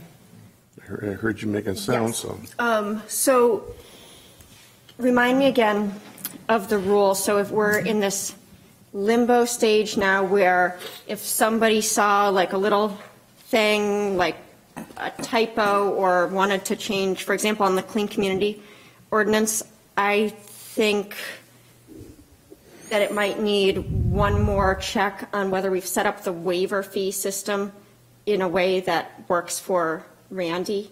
Um, I'd like to see if we can set it so that this, like, the select board would set the waiver fee annually. I believe the or- version that you emailed me today, so my apologies for this. The version that's in your packet is slightly different than Right. the final version that Allison worked on, which is mostly And it was differences not- in you the don't need to waiver apologize. fees. That's not you needing to But apologize. we won't go to, excuse me, Allison, but we won't go to um, actual uh, publication of it the seven days prior to the April 9th. Uh, Right, you still, so we still have time for like the clean community or getting the correct version out there and publicizing that so that when you go to like the actual public hearing in April, it'll be the correct version. E- changes. Exactly, yeah, So yep. when do we have until it needs to be? Really when Janice advertises, which is Days before April 9th? 10, We've 10 said, days prior? this was the last meeting where we could set A public A hearing. It is, Okay, correct. yes. To get it to, to get it to, So- to get it to the uh, uh, secret ballot. Because that's the next meeting you have is April 9th. Right. So I just want to make sure, though, that everybody's in agreement. I didn't make massive changes. The Conservation Commission um, reviewed this, and so I um, put their comments in, um, in a way that hopefully is acceptable to Bill. They wanted to make it clear that the town is also required to follow the ordinance. um, And that, I think, is we, lovely um, and a good thing. And then we also, I discussed this Finalize with with them Janice too, but I'm tomorrow not what that sure date if we is. discussed it here. So we added in a component about the balloons, that if you, for stores that give them out or sell them, they have to be individually weighted um, if the ordinance passes. So this would ban the intentional release of any balloon, um, but also require stores to have a little, a weight on each of them, think so, which is a but to common get- thing. But to answer your first question about what the the exact date for, to give the seven days, I think she has until April 1st. I think you have until April 1st, but I'm going to, we'll verify with Janice tomorrow morning on the exact. date. Regardless, you do have enough time, like, it's, it's okay if everybody in principle is okay with the changes that Allison's described. Yes. We can make sure that that's the version that, Okay, I just want to make sure we've done it, like, And it- with Randy and whether. Yes. If police yeah, and we'll have enough the time to that the- run it by Randy and run it by Bill Kelly. Kind of this week. Yes. Right, we- I mean, it's really like a couple days, it's not, it Correct. shouldn't be like, oh, we've got plenty of time, No, because we we have actually like, don't. we got like two days, two, Three, two, three three working days. days, three count, calendar, uh, week- weekday working days. Uh, Okay. Because it really should by the first, kind of, because it's going to be Done by, I published the it's on second. Friday, Yeah, probably. Yeah, you get- you're getting tight, because it should also be five uh, working days, not five count, seven count, seven days. So I think the first, we should peg in the first, done by the We'll, first. we'll make sure it's done. right, cool. And then the s- food sovereignty ordinance, another small thing. Um, I personally um, would like that it to reference, um, at the beginning, it says, "This ord- ordinance is enacted pursuant to title blah, blah, blah, blah, blah of the, the Maine Food Sovereignty Act." Yep.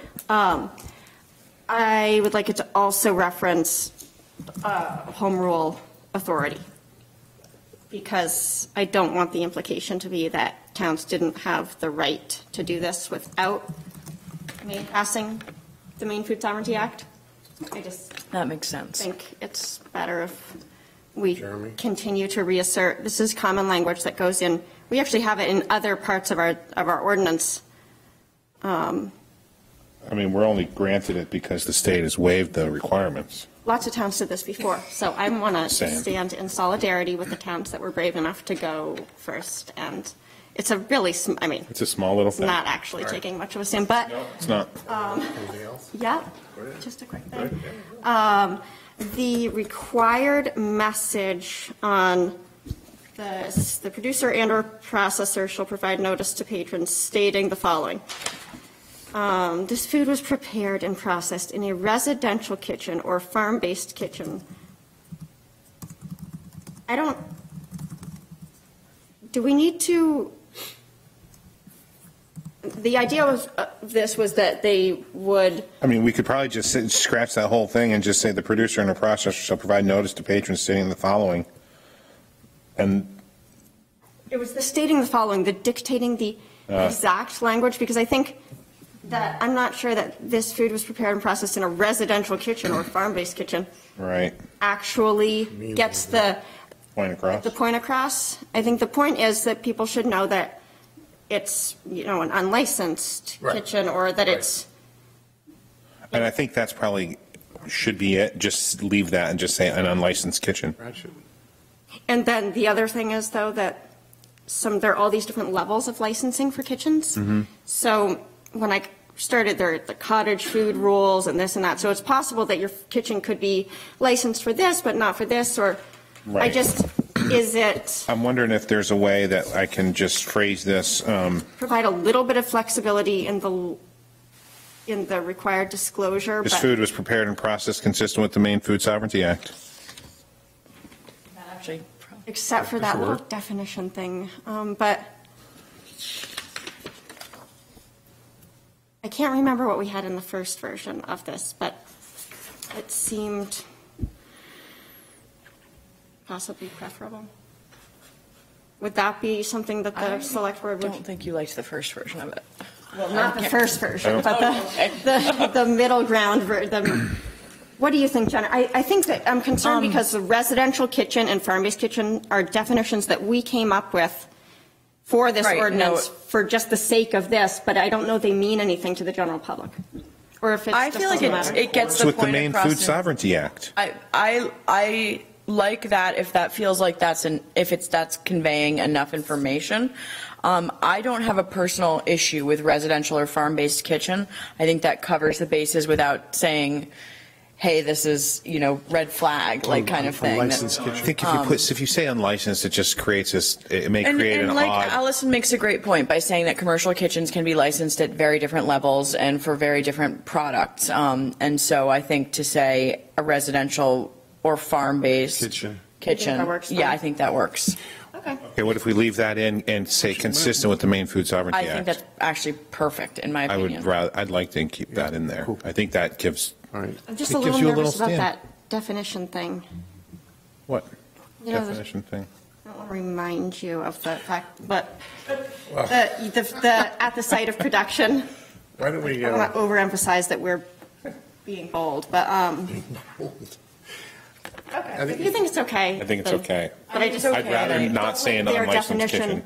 I really, are we then bound by their definition of, Right. We are bound by their definitions no matter what until the state legislature changes. And we had an email from Craig Hickman Mm-hmm. because we reached out to him and from the legislature on this specific. He's the um, state rep Yeah. who has been leading this charge For a long- um, for a while. For a while. He's the guy, the guy from farmer from Winthrop. Um, He's the one that's pushing Maine food sovereignty. And so we asked a specific question about the legislative intent on where, because if you go, go back to my little memo that I had and why I tweaked this a little bit, is because the state hasn't changed their, the law on this. And so you're really only allowed to sell it from where it is produced. oh, so you put that in ours too? Yes, it's in there, Allison. Um, Uh, look, uh, Allison, we can't do things that are, go against state law when it comes to Maine food sovereignty. We can't do things against state law generally. So in Hickman's, Hickman, I, in my understanding, they are working on a change because that was not their legislative intent. That's, exactly, it's not in the bill.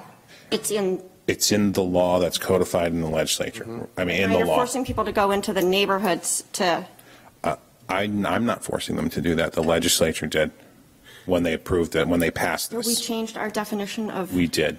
You know- And that was, that was in my, in the email that I sent when I sent this around Mm-hmm. and, and said, hey, this is, this is my revised version. I tweaked it a little bit to So many stay, revisions that. I know. I know. to stay consistent with state law. I mean, right now, we have, we cannot, All right, well, a producer cannot today Well, go we just talked to a about it farmer's so market. much. I- If you consider so many towns have passed it the other way. um, pursuant to this, it's a whole home rule authority situation. I mean, it's the exact conversation we had multiple times that other towns have, very few towns have actually gone with that restrictive definition. Rockland has it, I- Northport has it. I, I mean, I, I know. Yeah, I- Um, I, I think, well, first. But I, I think there is going to be legislative changes on this, and, and what my intent was to do something that is consistent with state law on it, and then when the law changes, it's very easy for us to change it. I, I mean, I don't, how can we come up with an ordinance that says if state law says, in the Maine Food Sovereignty Act says, it has to be sold at the location where it's produced, and then we're, we decide, well, that wasn't the legislative intent, that is not our place to say what the legislative intent was. If the legislature wants to change the bill because, or the law because they blew it, or the, or the analysts that were writing this, based on what the legislate, what, what they discussed, then they should change it, and the legislature did not change that. I, I mean, I hear what you're saying, and I appreciate it, but If you, uh, I obviously. mean, we, yeah, we've had this conversation a ton, that's the whole home rule authority part of it. That's the fact, the majority of towns have passed the ordinance without the at the site of production, that part of the definition. And that's the whole idea of the home rule authority. I, I, I would just say that the Maine Food Sovereignty Act allows us to do this, not home rule authority. I mean, and I know, but you, t- you and I talked about Has this. this, and- has the state confirmed this language is, is is required to you? the, the state, honestly, the state will say, I have reached out to the Department of Agriculture, reached out to, to Health and Human Services that do food inspections, and they say, ha, sorry, we're not going to comment, we're not going to give you any guidance, we're not going to give you any comment on it. That's what the state does. And so all that we have going for us is, I mean, there is a group of people, uh, farmers, engaged people that are into the local food world that have come up with model ordinances and are trying to push something that's different than the- what's in the Maine Food Sovereignty Act, which is fine. And I think, I, I understand where they're going, but that said, the law is the law. Whether or not that was the intent, what the legislature did, it went through the legal analysts, they crafted the bill, mm-hmm. and it says specifically in the bill that it needs to be sold where it's located. So if we were to do what we're doing where it is right now, things change in the future, we can change along with it. Absolutely. I mean, absolutely. And I'd love to be able to say, yeah, let's include it. But, I mean, how do you include something that It's not the law doesn't allow you to do, even though it might be the legislative intent? Let's take it a step at a time and get this done, and then we can, we can move on. That's if we my, have the opportunity. that's my feeling on it.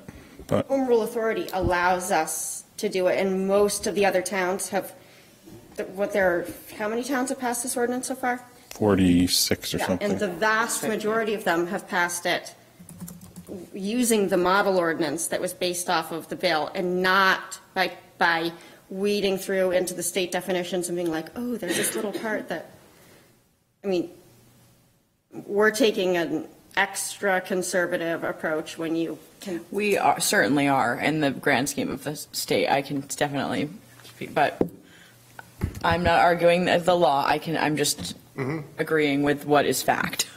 I mean, But, uh, nobody's going to sue us for, it's, Well, But, I mean, Jeremy's job is to bring you something that's consistent with the law as he interprets it, and you can choose to do things, this wouldn't be the first time you've chosen to do something contrary to certain advice you've gotten because you've weighed the risk and the benefit, and you've decided that it was worth it. So that's kind of, I think, the situation that you're in right now. It's almost like a typo situation in that, like, when they actually went to write the, the definitions, that got put in there, and the state's not even out there saying, oh, you need to put that, you need to make sure that goes in your ordinance.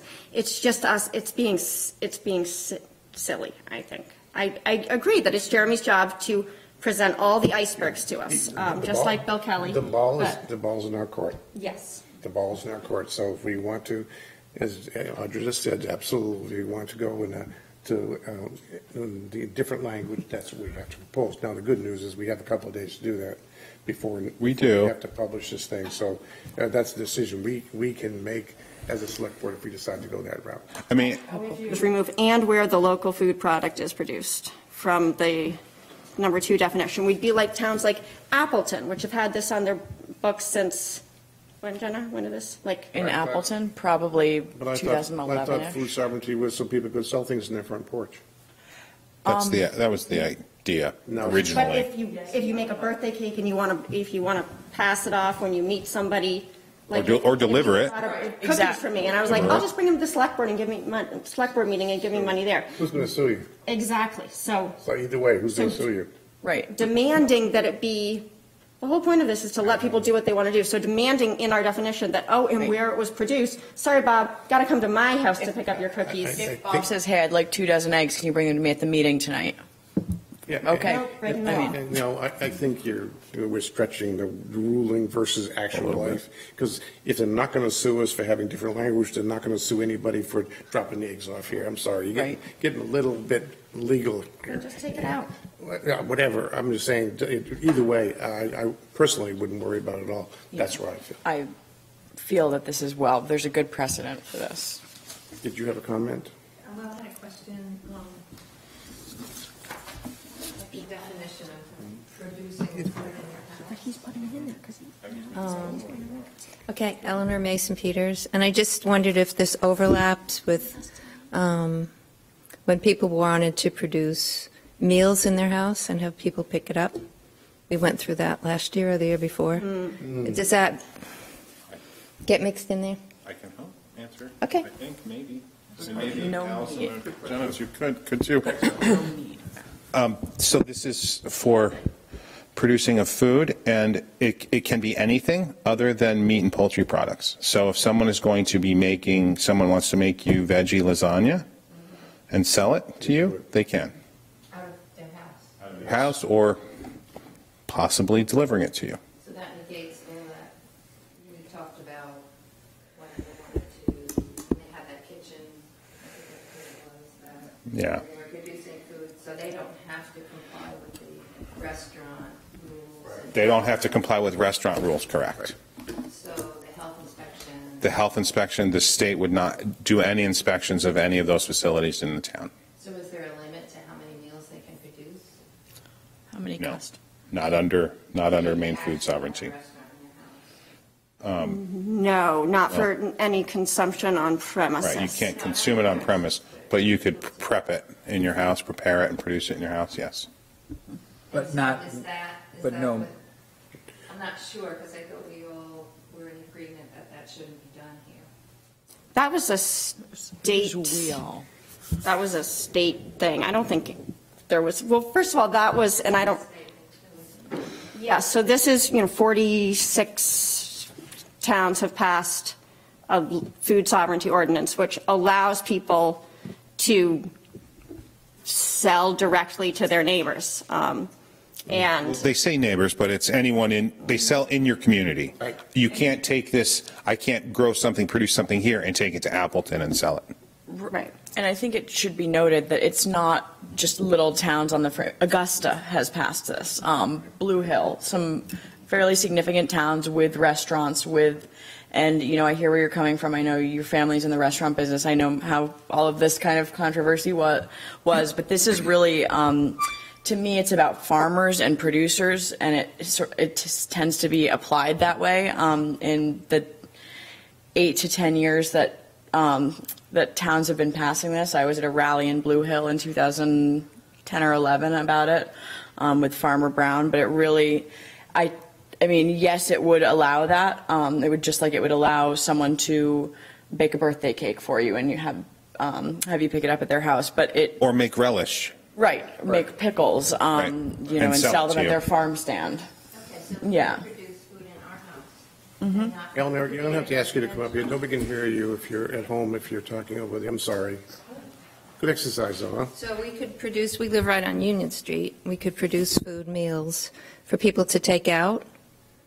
As long as there's no meat No or meat. poultry. Okay, that's easy. And as long as you And- tell people that it wasn't produced in a, And we could have as many people come in as we want. well, that's where uh, if, Do when, you it- have to be in a B2 zone? Do you have to be in a commercial zone? Yeah, please. There's a little Good question, traffic Ellen. restriction. Yeah, so all, The Maine food sovereignty was really case you have about licensing, about state licensing of kitchens. That's what this is about, and that's what food sovereignty is about. It's about the licensing of them. It has nothing to do with zoning, has nothing to do with land use. It's just, they're two separate animals. Okay? So it doesn't, But the- one of the key things One is. one at a time, please. Uh, Allison, you first. Go ahead. I was waiting for Jared, are you going to go into more of that, or we?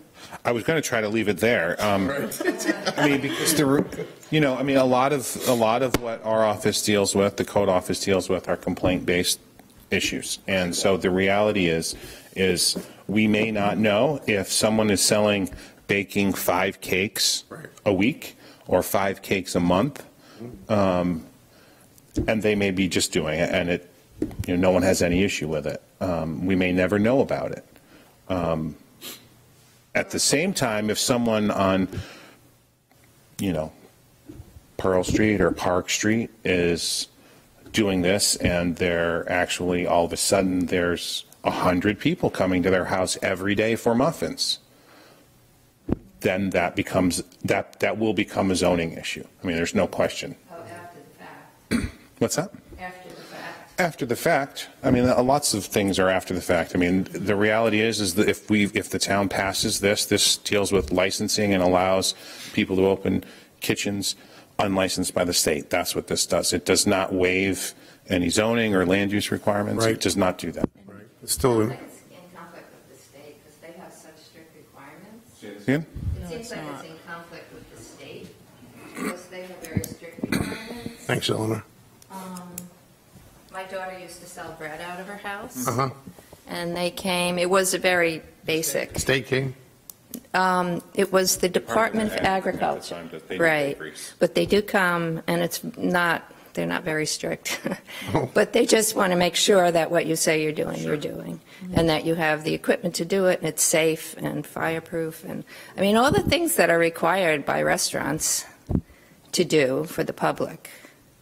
Food poisoning, um, you could get into all kinds of things, you know, inspections for that. So if you are allowed to just, I mean, I understand people having a farm stand and wanting to sell their product and making jam, but now if you're opening the door and you're saying, well, if it, it's okay, I mean, there are people who are going to take advantage of that. And it's going to change. And then you're going to have other issues about all that.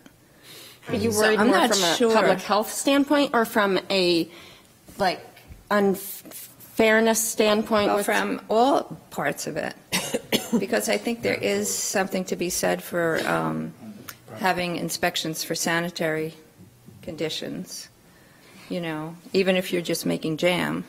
Yeah. I mean, a lot of people just go into things and they don't really know. They don't take a sanitation course.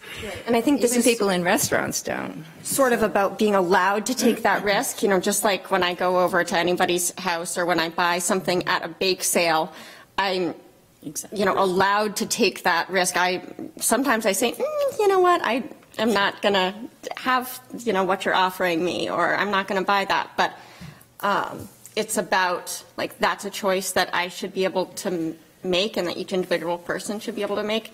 And that's why we added, you know, the state passed a law that allows communities to do this. Um, One thing that they didn't include was anything about disclosures. We felt it was important that, okay, if people are going to do this, they need to be letting the public know through either a sign or a sticker or something that this, this food hasn't gone through any of those things. Um, I bought milk off a stand and gotten sick from it.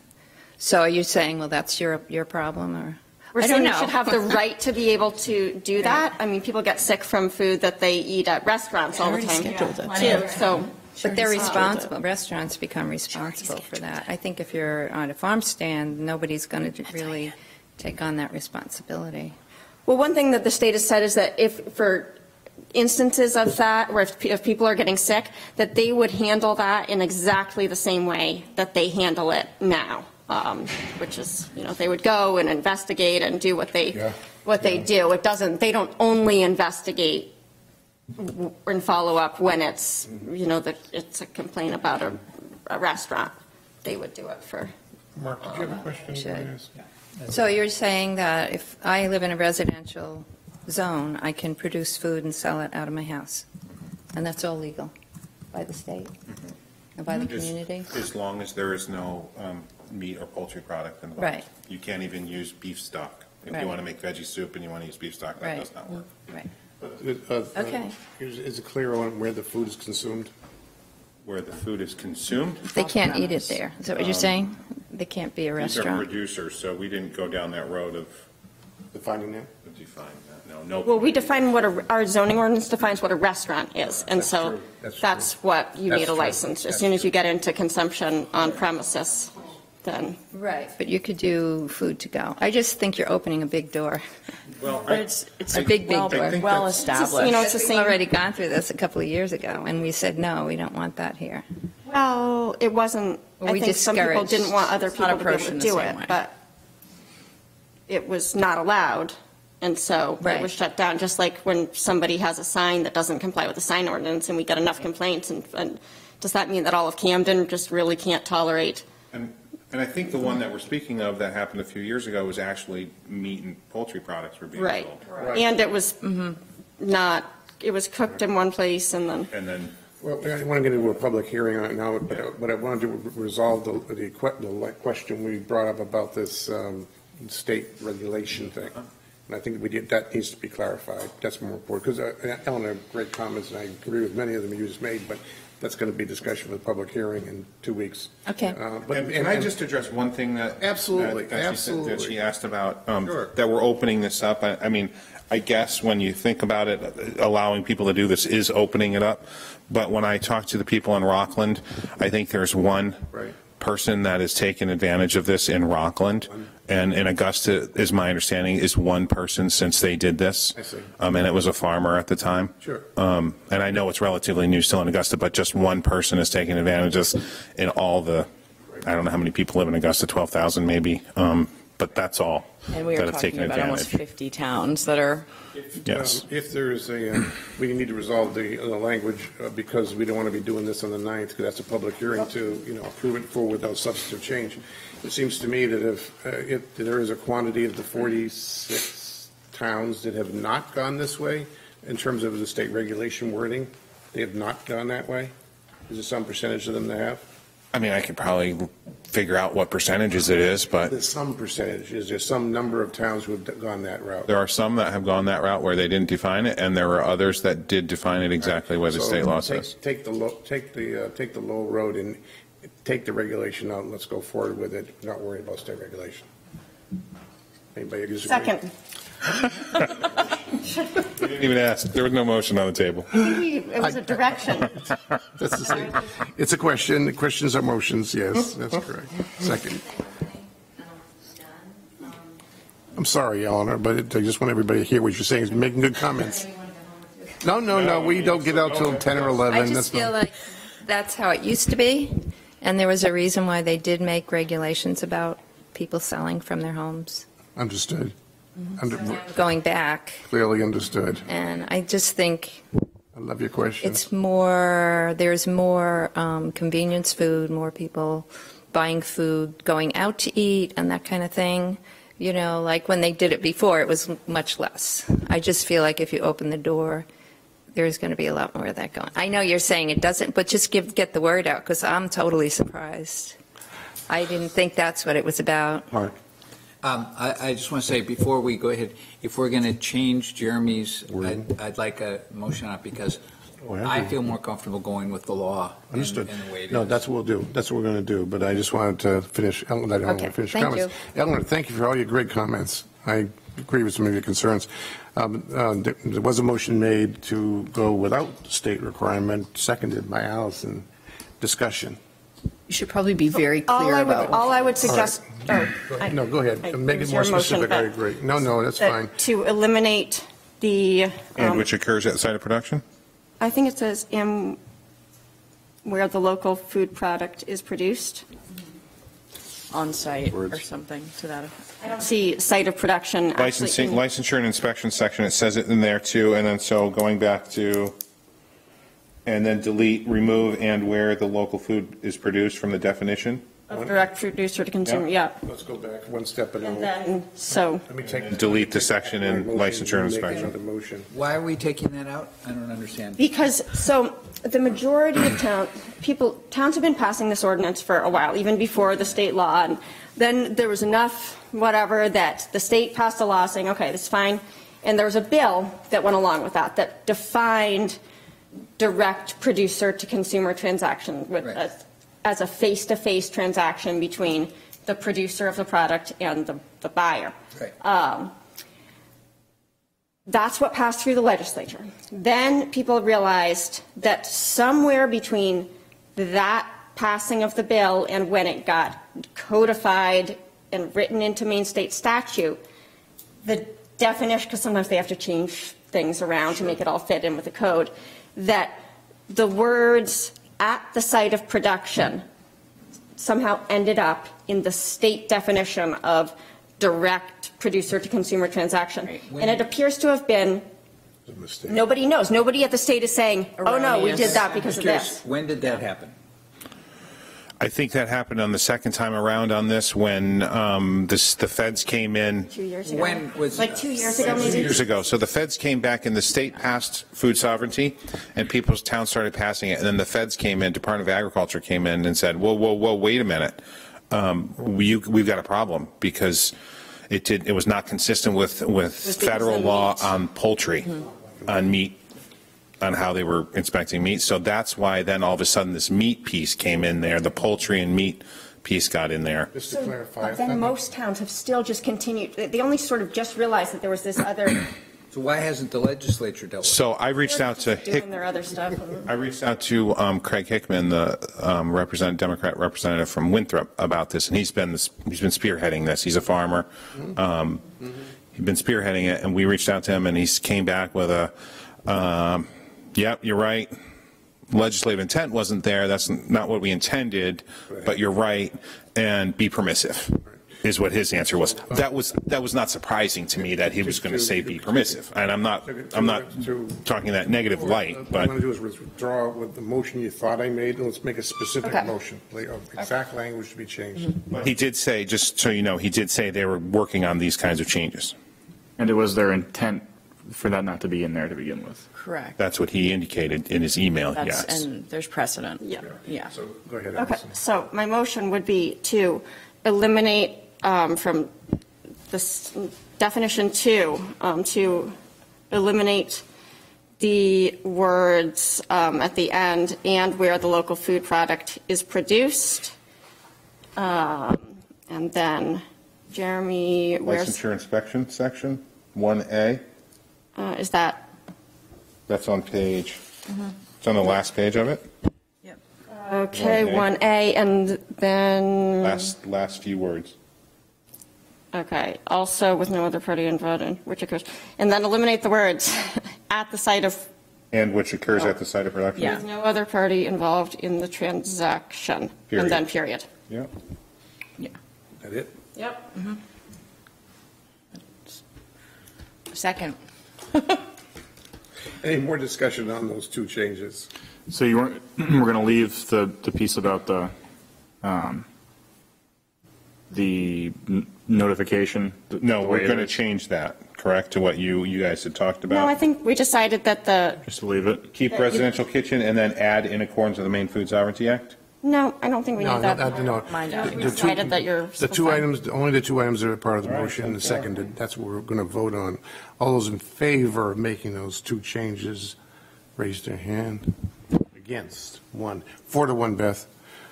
Thank you, And Jeremy. then, so that was the changes, now we should vote on whether to send it forward to a public hearing. And the other ones Already too. I- did. Oh, yeah. Well, 'cause Maybe Mark is okay with sending it to a public hearing, but. All right, go ahead. I don't know. Go ahead. It's fine with me. Other- We did, but we can do it again. It's not a problem. We We can voted call it to the, it. call it the revised.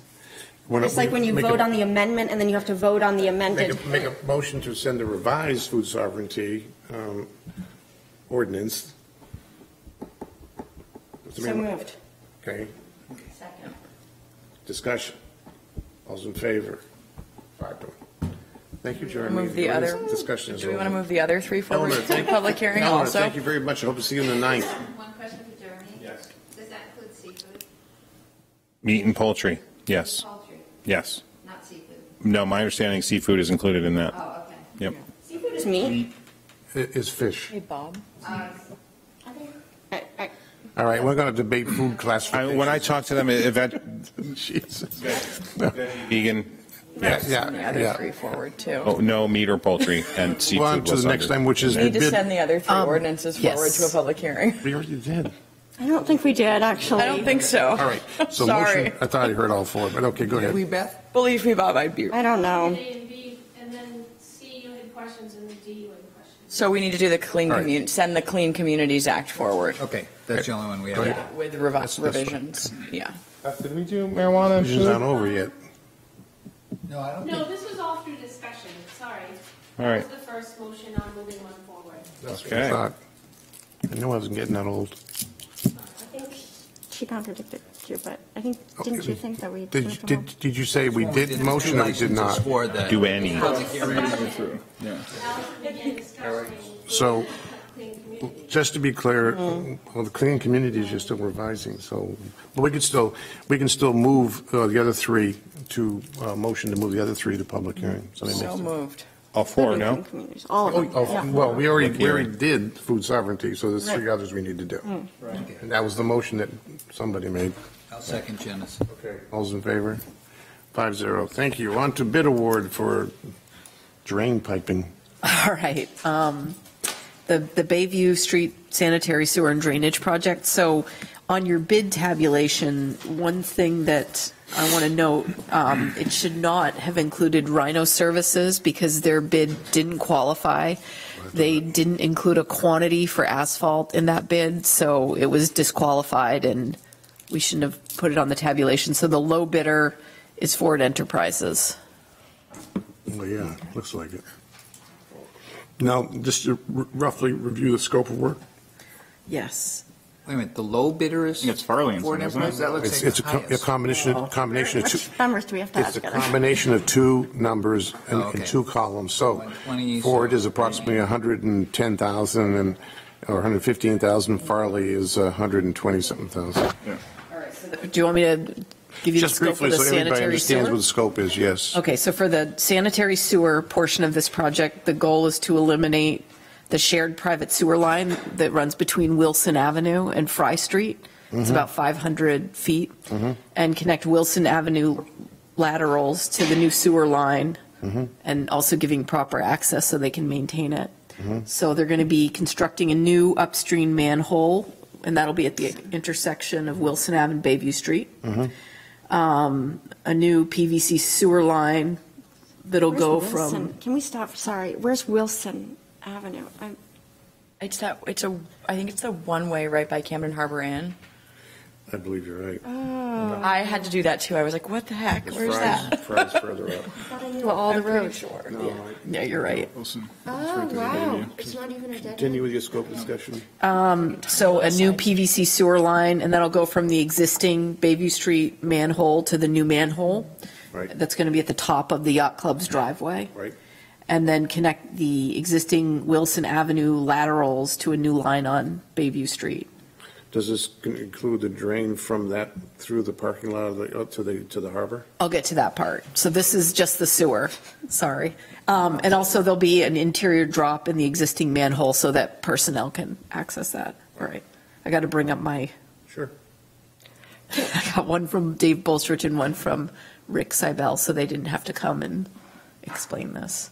Um, We're grateful for you. I thought after what we did to poor Dave Bolstrich Oh, I on totally last agree. Thursday, that Again, we did. anything that we could do. If he had come, I was moving it up on the agenda anyway, so it doesn't, but anyway. We always say that, but then we forget. to I do know, it. I know. Go ahead, Audra. All right, so for the actual storm drain, so the storm drain line on the section of Bayview from Wilson Ave to the out- outfall, which goes down to the yacht club, Right. it's rotting and causing a lot of water to leach into the surrounding soils, which is, you know, causing damage with the, the road. Um, And it undermines the pipe and the road. It causes a lot of sinkholes and fines are able to get into the, you know, into the harbor because it's all filtering through. And that further reduces the integrity of that pipe. So this would be, you know, replacing that and fixing all the sub base around it. Mhm. And so, yep, The line that goes from Bayview to the ocean, that's in the drainage quote? yes. And that's, that's why they're repaving, well, the road and the Yes. parking lot at the yacht club? Not the whole parking lot, just that. Just the portion you're Yeah. damaging. Yes. Do you have any idea why the, the Farlington and Ford Enterprises bids are so, com- so very different? Yes, so Farley, um, they included the paving in the sanitary portion of their Mhm. bid, Mhm. and so that's what caused them to be so much higher. Mm-hmm. Yeah. Yeah, the two bids on the Farley and Ford are not that far apart. I can't, I- No, but the I'm way they're- embarrassed they're to say, I still can't figure are out what we're supposed to be, because they've given a price per ton Mm-hmm. also, but I don't know how many tons that is. Is that factored into the? Yes. So we don't even need to know how much they're charging per ton for asphalt in order to figure this Not, out? yeah, not really, no. The pegging, what they're doing is, a a very, cla- a civil project is very standard to put in the unit cost of what, they- how they calculated their price. So if there were significant amounts of dirt, they would give a unit price for that. If there's a significant amount of asphalt, they would give a price for that. That's the basis of their quote. But we don't need to know that to You don't need to so- worry about the price per If you're ton. interested in paving a driveway. And we're not, definitely not doing this separately. No. We're doing it all together. So We're doing all we it do is together, yeah. Add the two numbers together. and then- Yep. That's correct. And then- and So then- they are pretty close. The Ford Enterprises? Oh, yes, Okay, so- yep. And Ford, yeah. Yep. Okay. He's, he's our up and coming, That's up and coming. He's our, he's, yeah, our Is this good his local, first road young. job for us? We won't uh, emphasize that oh, today, but. No, but I think it's maybe his biggest job with us so far, He's which done a- is great. He's done a great He's- job on the Yeah. project. Really great. I would say that- that a lot, we've got people like Dan and Rhino, and during this period where construction prices have really increased, Yeah. they kind of went from, they pivoted and were able to take advantage of that and build up their skills, and that's Right. been great for us locally. And it's Yeah. kind of a good news thing, so the two bidders were qualified, their price is only 10,000 apart. Yes, That's good news. yes. Should we make a motion? Yeah, I, I sure. make a motion that we accept the bid from Ford Enterprises Second. for the Bayview Street drainage improvements. Uh, Drainage and sanitary. I was just reading the top, yeah. Bayview drainage and sanitary improvements. Thank you. Second.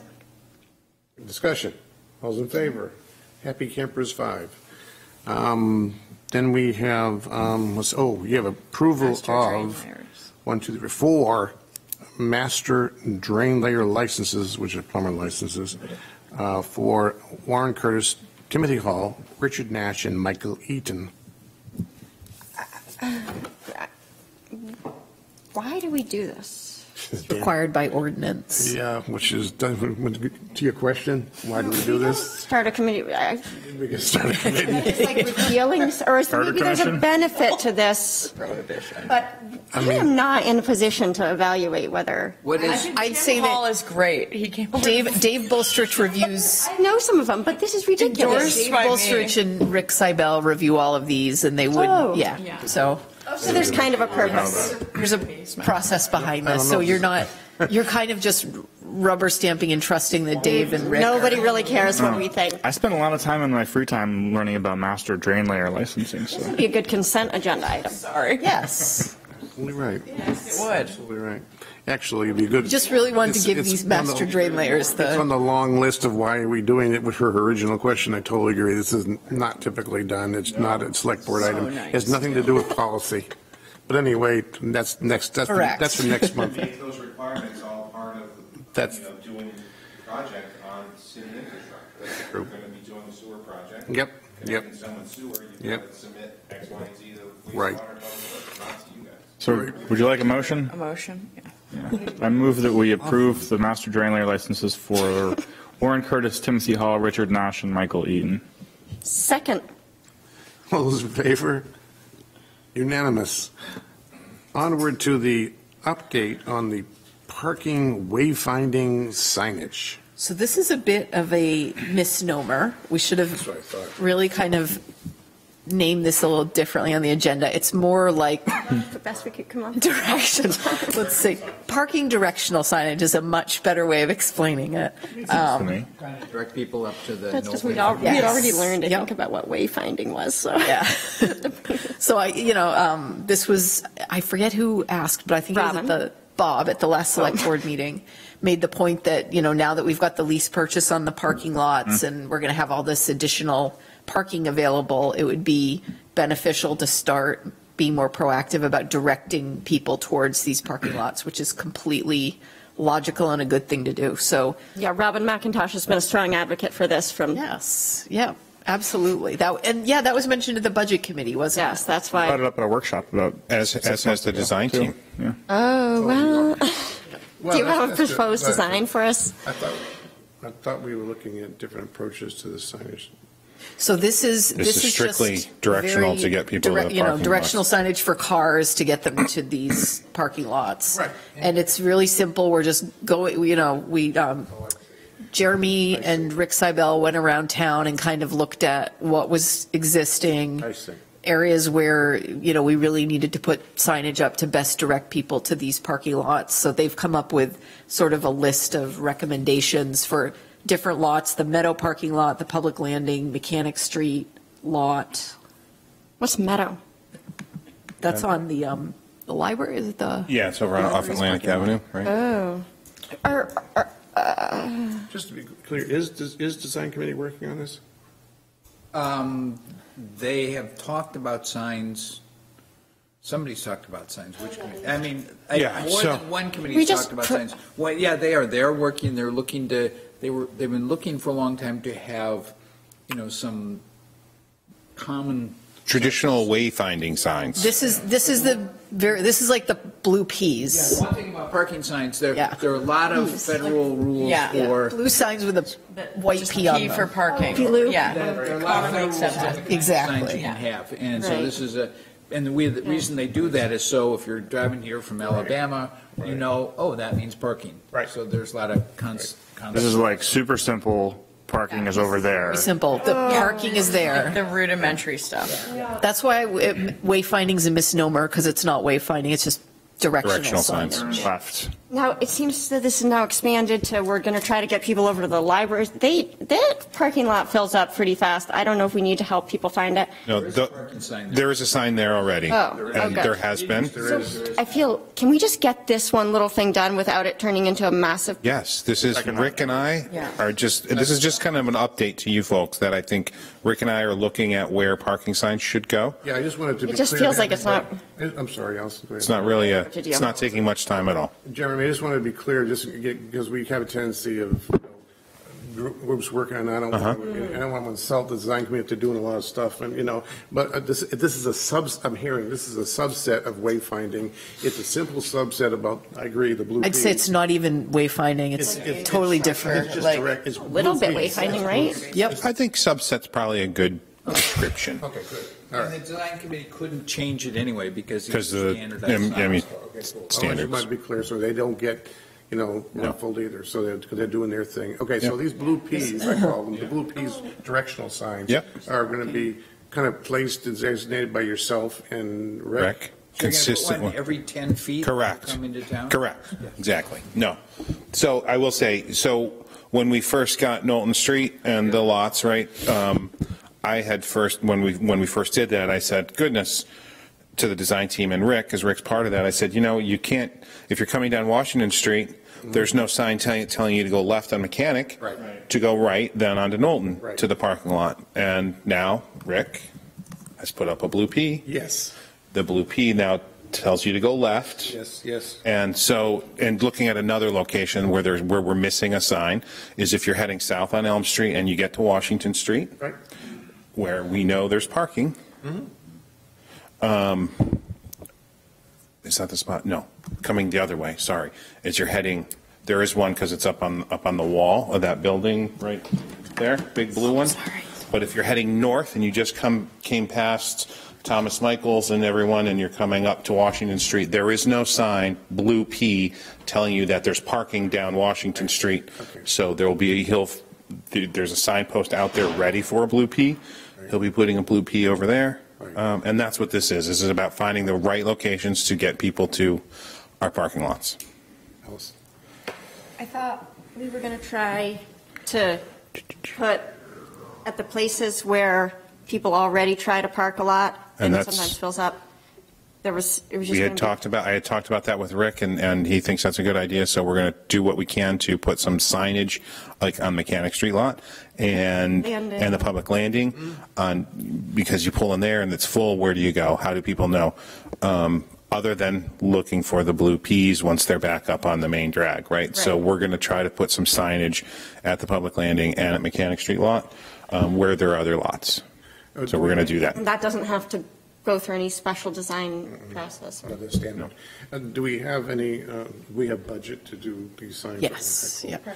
And this- you're probably not talking about more than about six or eight or 10 P signs? Oh, at the, I, I think there's only two that I, I'm aware of that, two Ps that need to be put up right now. Oh, so that's really low. I mean, people, yeah, if, if you're really paying attention, I mean, there's a lot of clutter downtown sometimes, right? Signage, so you may miss a P, um, um, because you just may not see it because there's everything else that out there. But if you follow, if you, I've done this a few times, every time I come into town, I look, and then when I'm coming in at certain directions, I'm like, how do I get to our parking Totally agree. lots? I think I would fault with more Ps than less Ps. Yeah, well, we don't have a lot of space We to don't. put the We piece. really don't. But We really don't. all, the real point is, if you're on Route 1, how do you get to our parking lots? And we can get them over to the metal lot, we can get them to the landing very easy, and we can get them to Yeah. the fire station lot and And I- Knowlton And I think you're mill right, lots. the wording of this thing got me confused because I know wayfinding is. Yes, it was confusing. Line committee is really, this is, is clarifies parking directional Mm-hmm. signage subset. Cool. And as far as wayfinding, I will say, a number of years ago, when they did, um, I think it was in the downtown master plan, um, or was it in the um, Riverwalk? I don't remember exactly, but there was, in one of the plans that was done, um, was done, there were, uh, um, they engaged, one of the consultants did do wayfinding signage in that, in that proposal. It was not, I mean, not crazy robust sign plan, but it was a good enough sign, I think, wayfinding plan that if we ever get to that point, we could probably pull out that wayfinding plan that was already done Right. and get Right. someone to, to implement it. It's a criticism of the status quo, but. Yeah, that's true. I- Is, this will be done this spring? Oh, yeah, Rick's been doing it as, as he finds Just it. clarification, that's good. Great. Any other questions? You don't need any action from us, right? None. No, no, no. please. Uh, Poor Jeremy. Yes. I didn't really want any. Thanks, Jeremy. The, uh, item 12 is to, uh, this is like, have Allison explain it, but we need to vote to restrict the MRC tip stabilization funds to be used in the closure of the Jacobs Quarry landfill, which FY is Midco Solid Waste. Audra has a lovely motion prepared. Oh, I love when she does. I'm sorry, I should have had that. Well, while she's digging that up, this is all about the monies that we, goodness we rec- remembered. the town received from Midco Solid Waste for I understand. just this. And we just, we need to clarify this for accounting uh, purposes in getting the uh, auditor Yeah, to approve. Basically, we have, there are any number of reasons that we might want to clarify this, but, um, so at one point, we got like $600,000 or $500,000. How much did we get back from? $453. 53,000. Right. Actually, $453,000. Right. and if you combine, then we've gotten some other, Disappointing. other It's things. about $453. From the, the MRC, which was what, you know, the group that we were a part of before we started sending our trash to ecomaine.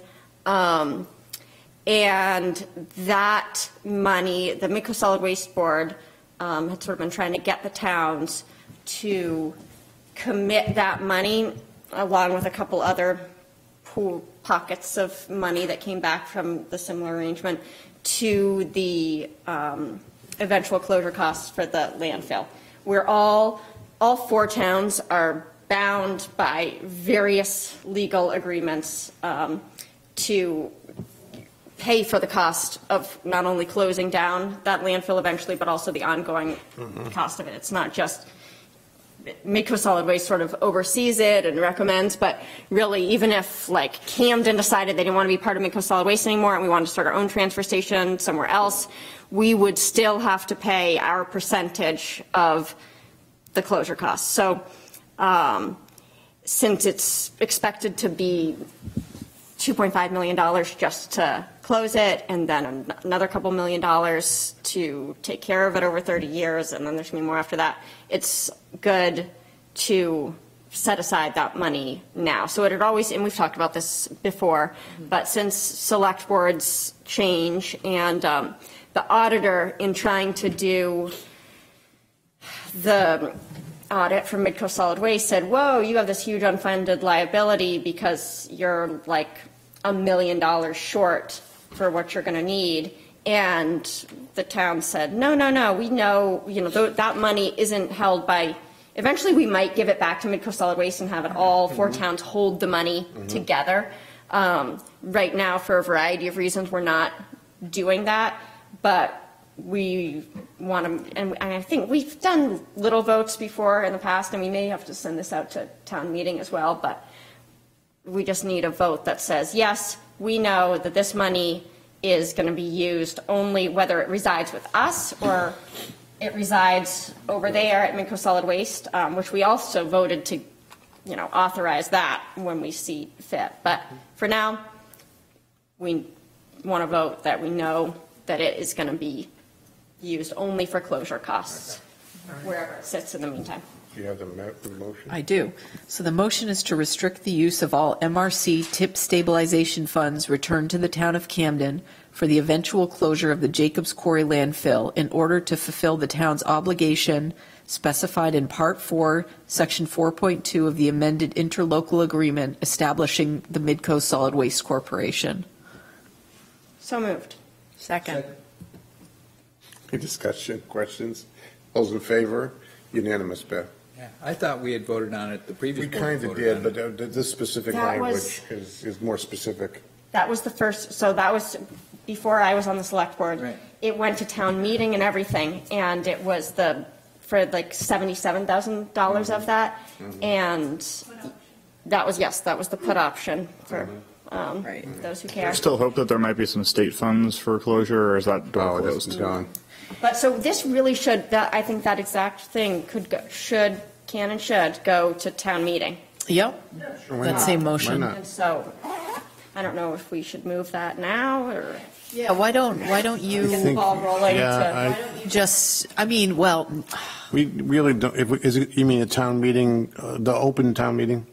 You want to, that what Yes, we're that's talking what about? was done in the past, and Um, warrant. Yeah, actually, Yeah. we can actually do that April 9th or today, either one. Lincolnville, I mean, we might want to Oh, look at the wording. The way that Lincolnville did it, actually, I think is sort of okay. Um, That it, it also, their motion at town meeting also authorized the select board to then transfer the money um, to Midco Solid Waste if it was determined that that was the better thing to do, and after holding a public hearing. So, We have a couple, excuse me, we have a couple, we have a couple items that we have to address April 9th similarly, uh, that we're going to bring up, um, a couple of things, but we could put it in that same category on April 9th, or we can do it now, it doesn't make a difference, but uh, we, we, that's a big warrant night for us, that's our last night to approve things for, mostly for printing for the secret, uh, for the ballot, but. Well, I mean, also- this is, Town meeting- this is easy enough. I know, if I know you all want it on the warrant, we'll just make sure it goes on. That's, that, I think Yeah. we can, we can motion that now. Right, and it doesn't have to be, the deadline isn't so soon because it's not the printing deadline. Um, It's for, that's just for the we will- ballots, it's for absentee ballots and all that. For the secret ballot, you're Yeah, correct, you're and correct. this is town. But we can motion that now. So moved. Hmm, Yeah, we probably shouldn't because we need language for it anyway, but, or should we vote on the concept or? I mean, I, I know you want to do it, We- so we- we'll we make wanna- sure that we wanna have the do it. prepared. We can bring it up on Yeah. April 9th if we want to with exactly, just fine. Procedural, yeah. Take that back. So Jody will be here with us during? Yes. Okay. Yeah, I'll, I'll give her a briefing on this. And there's a couple other things too, um, in regards to open floor Yes, warrant articles. we have a couple of those. Yeah, there, there's a few that have been requested that are a little different than normal. So I'll make sure that, Yeah, she, I, Yeah. I have a couple written down, but we don't want to miss those for yeah, 9th. for the, for the open floor articles that have been requested that are a little different than the stuff that gets put on every year. Right. You could, like in April, if you, if this is what you're most comfortable with, you can talk about it while, you know, Jody's here. And then for those particular ones, you can vote on them, I believe, the first meeting of May and still be fine for, because you don't have the, there's no printing deadline. Correct. Right, we have that whole schedule that Yeah. Katrina sent us. No, I agree. We We have a should couple post items. on the to wall check. somewhere. Okay. Um, The, uh, uh, there is in the packet uh, tonight, um, two financial items. One was the, well, just um, the, uh, Wrap up. through March, um, uh, um, P and L or accounting for the, for the general fund, and the um, latest update on the Snow Bowl financial situation. Um, If there are any questions on the finances, I'm sure we could entertain them, but I would suggest we get, we gather those. I, I didn't see anything in my review of, the- of any, any consequence in terms of the, um, any of the operations. They're all looking pretty darn good. That's a question? Of course. Uh, Number 11 on the agenda, discussion on proposed legislation to change. We we minimum- tabled We it tabled it. Okay. front. That's the one we, uh, that said the legislation's just starting and blah, blah, I blah. don't remember. That's fine, that's Did have a nice chat with Vicky about it. and- That's great, that's great. We're going to have more talk about it. Um, So the Snow Bowl, um, the summary, as you saw in the packet, we're last, well, I think it was yesterday, was they did, it's about 90, about 90,000 now. It's not 99 anymore, 90,000 because of intru- inclusions.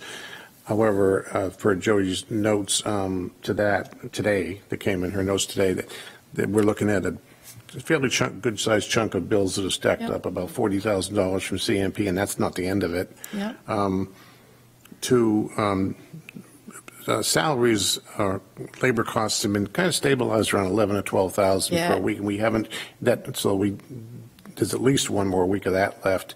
And then beyond that, the only thing we have to account for is. Well, this is the last week of that, except Right, for Beth and right. Holly salaries, For- that will be for April. Yeah, just, I mean, just to kind of state it publicly, um, the way that the Snow Bowl's budgeted, April 1st and moving forward, that's sort of the deadline when all the Parks and Rec staff, or the Snow Bowl staff become Parks and Rec staff again and start doing Parks and Rec Makes work. sense.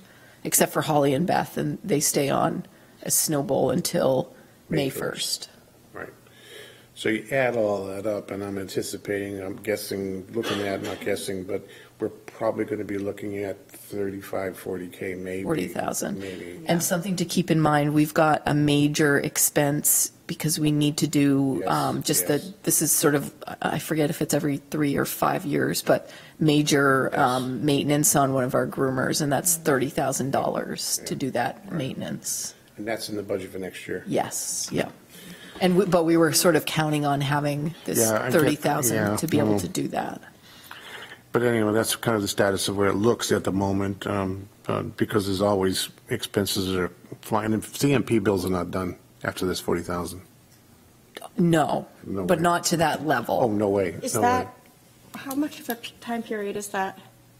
CMP. Oh, Yeah. I, I f- I forget, but also one thing to keep in mind, CMP has been significantly overbilling us Uh-huh. townwide. Uh-huh. So we're looking at getting a refund from them of $15,000 or so. How did- Across the board. How did that, how did we discover that, or how do we, did they tell us, or did, or- There's a, yeah. Because I they- look sometimes, I'm like, I don't know. what's- Well, we'd noticed it was really high, and so we kind of started digging into it, and then CMP got in touch with us, and then when Marlene looked into it a little bit more, she was able to split it up between the six accounts. And what did they do? So are- is this part of that whole Rowan- scandal that? Yeah, they- yeah, I think so. The overbilling. Should we, we should, Well, what they were going to do is apply it as credits to our account, and we said, no, we don't want credits to our accounts, we want a refund. Because if we, if it was just credits, some of the accounts that were overbilled, it would take us years Yeah. to, you know. so, so how did we, because sometimes people have trouble proving this, or can we go more, I feel like in s- solidarity with a lot of the people that are having problems individually, that we should talk about this more, or? I mean, Because they, a lot of Sure. people on their own don't have the ability to push back, but it sounds like we were able to say, It's a major I don't know, I'm just curious what they, Utility did they Commission. admit that, do Oh, yeah. smart meters or No, they, they admitted that they were overbilling us. on purpose? I think it was all accidental and part of the whole, Mark, go ahead. I was going to say, it might be a good idea. I know that uh, we'll, we'll have reporters watching the meeting. It might be a good idea for them to contact them, it might be too late to contact you, just Yeah, I think so, so. to run a story about it, so people are aware of what's going on and that we caught That this. probably, that is a good, great idea. There have Yeah. been, there have been some stories. about it. It's a great story, Yeah, it yeah. is a good story. It's a large chunk of change. Susan, Linda, Steve Bex, even you. Attention. Yeah. Unfortunately, you know, because we have six accounts. Yes. The Snow Bowl, it's only a small, well, I mean, not insignificant, but it's not, like, that 15,000 isn't all Snow Bowl No, of course not. spread out. happy to have money come back to the rest of the town too. Oh, yeah. It's a lot of money. Anyway, um, so we'll, we'll monitor Snow Bowl again on April 9th, but by that time, we're going to have a really clear definition of what's going on, because you're going to still, you're going to still see some, you know, five-digit number on, on power. Yes. It won't be 40,000, though. No, no. It's been a, been a very good year. Yeah, yep. Fine conditions, they did a great job. Yep, yep. So with that, um, that's the end of our established agenda. I want to adjourn the meeting and, and have a motion to enter into an executive session per one um, MRSA Section 4056A personnel. That motion moved. So moved. All those in favor? Thank you all. Thank you, Beth. Can we cut us off somehow? Oh, yes, I You need can. to be turned off. Yeah, we can just turn the sound off. Um, wait, look, some people put lips and their my stipulations. They'll figure it out in no time. Oftentimes their hands are way too much to trust that. Thanks, Margaret. Quick question before I go. Oh, Uh, On our website, where is the uh, connection to get to the live feeds of these? And to see the rate? Is that on the Right on the website? front page. Yeah. But I- I was looking for it this afternoon. You I can couldn't also, it. you can also just go to YouTube and put in Town of Camden. Yeah. On YouTube, and it'll bring up. Will that bring up past meetings? Yes. Okay, I wasn't sure on yeah, if you just get to a place where it's like, It, it has archived details. Mark, if you're on the webpage, Did I do something about solar? Okay. That is. no, that wasn't really, It was Yeah, don't- waste? don't be scared. They'll, they know they have to came up, I came up right down to this. like, There's no land, this so one it was can't be there. on the So landfill. maybe I, I had it moved, I don't think they're ready. All right, thank you. hey, but Squirrels. Okay. I mean,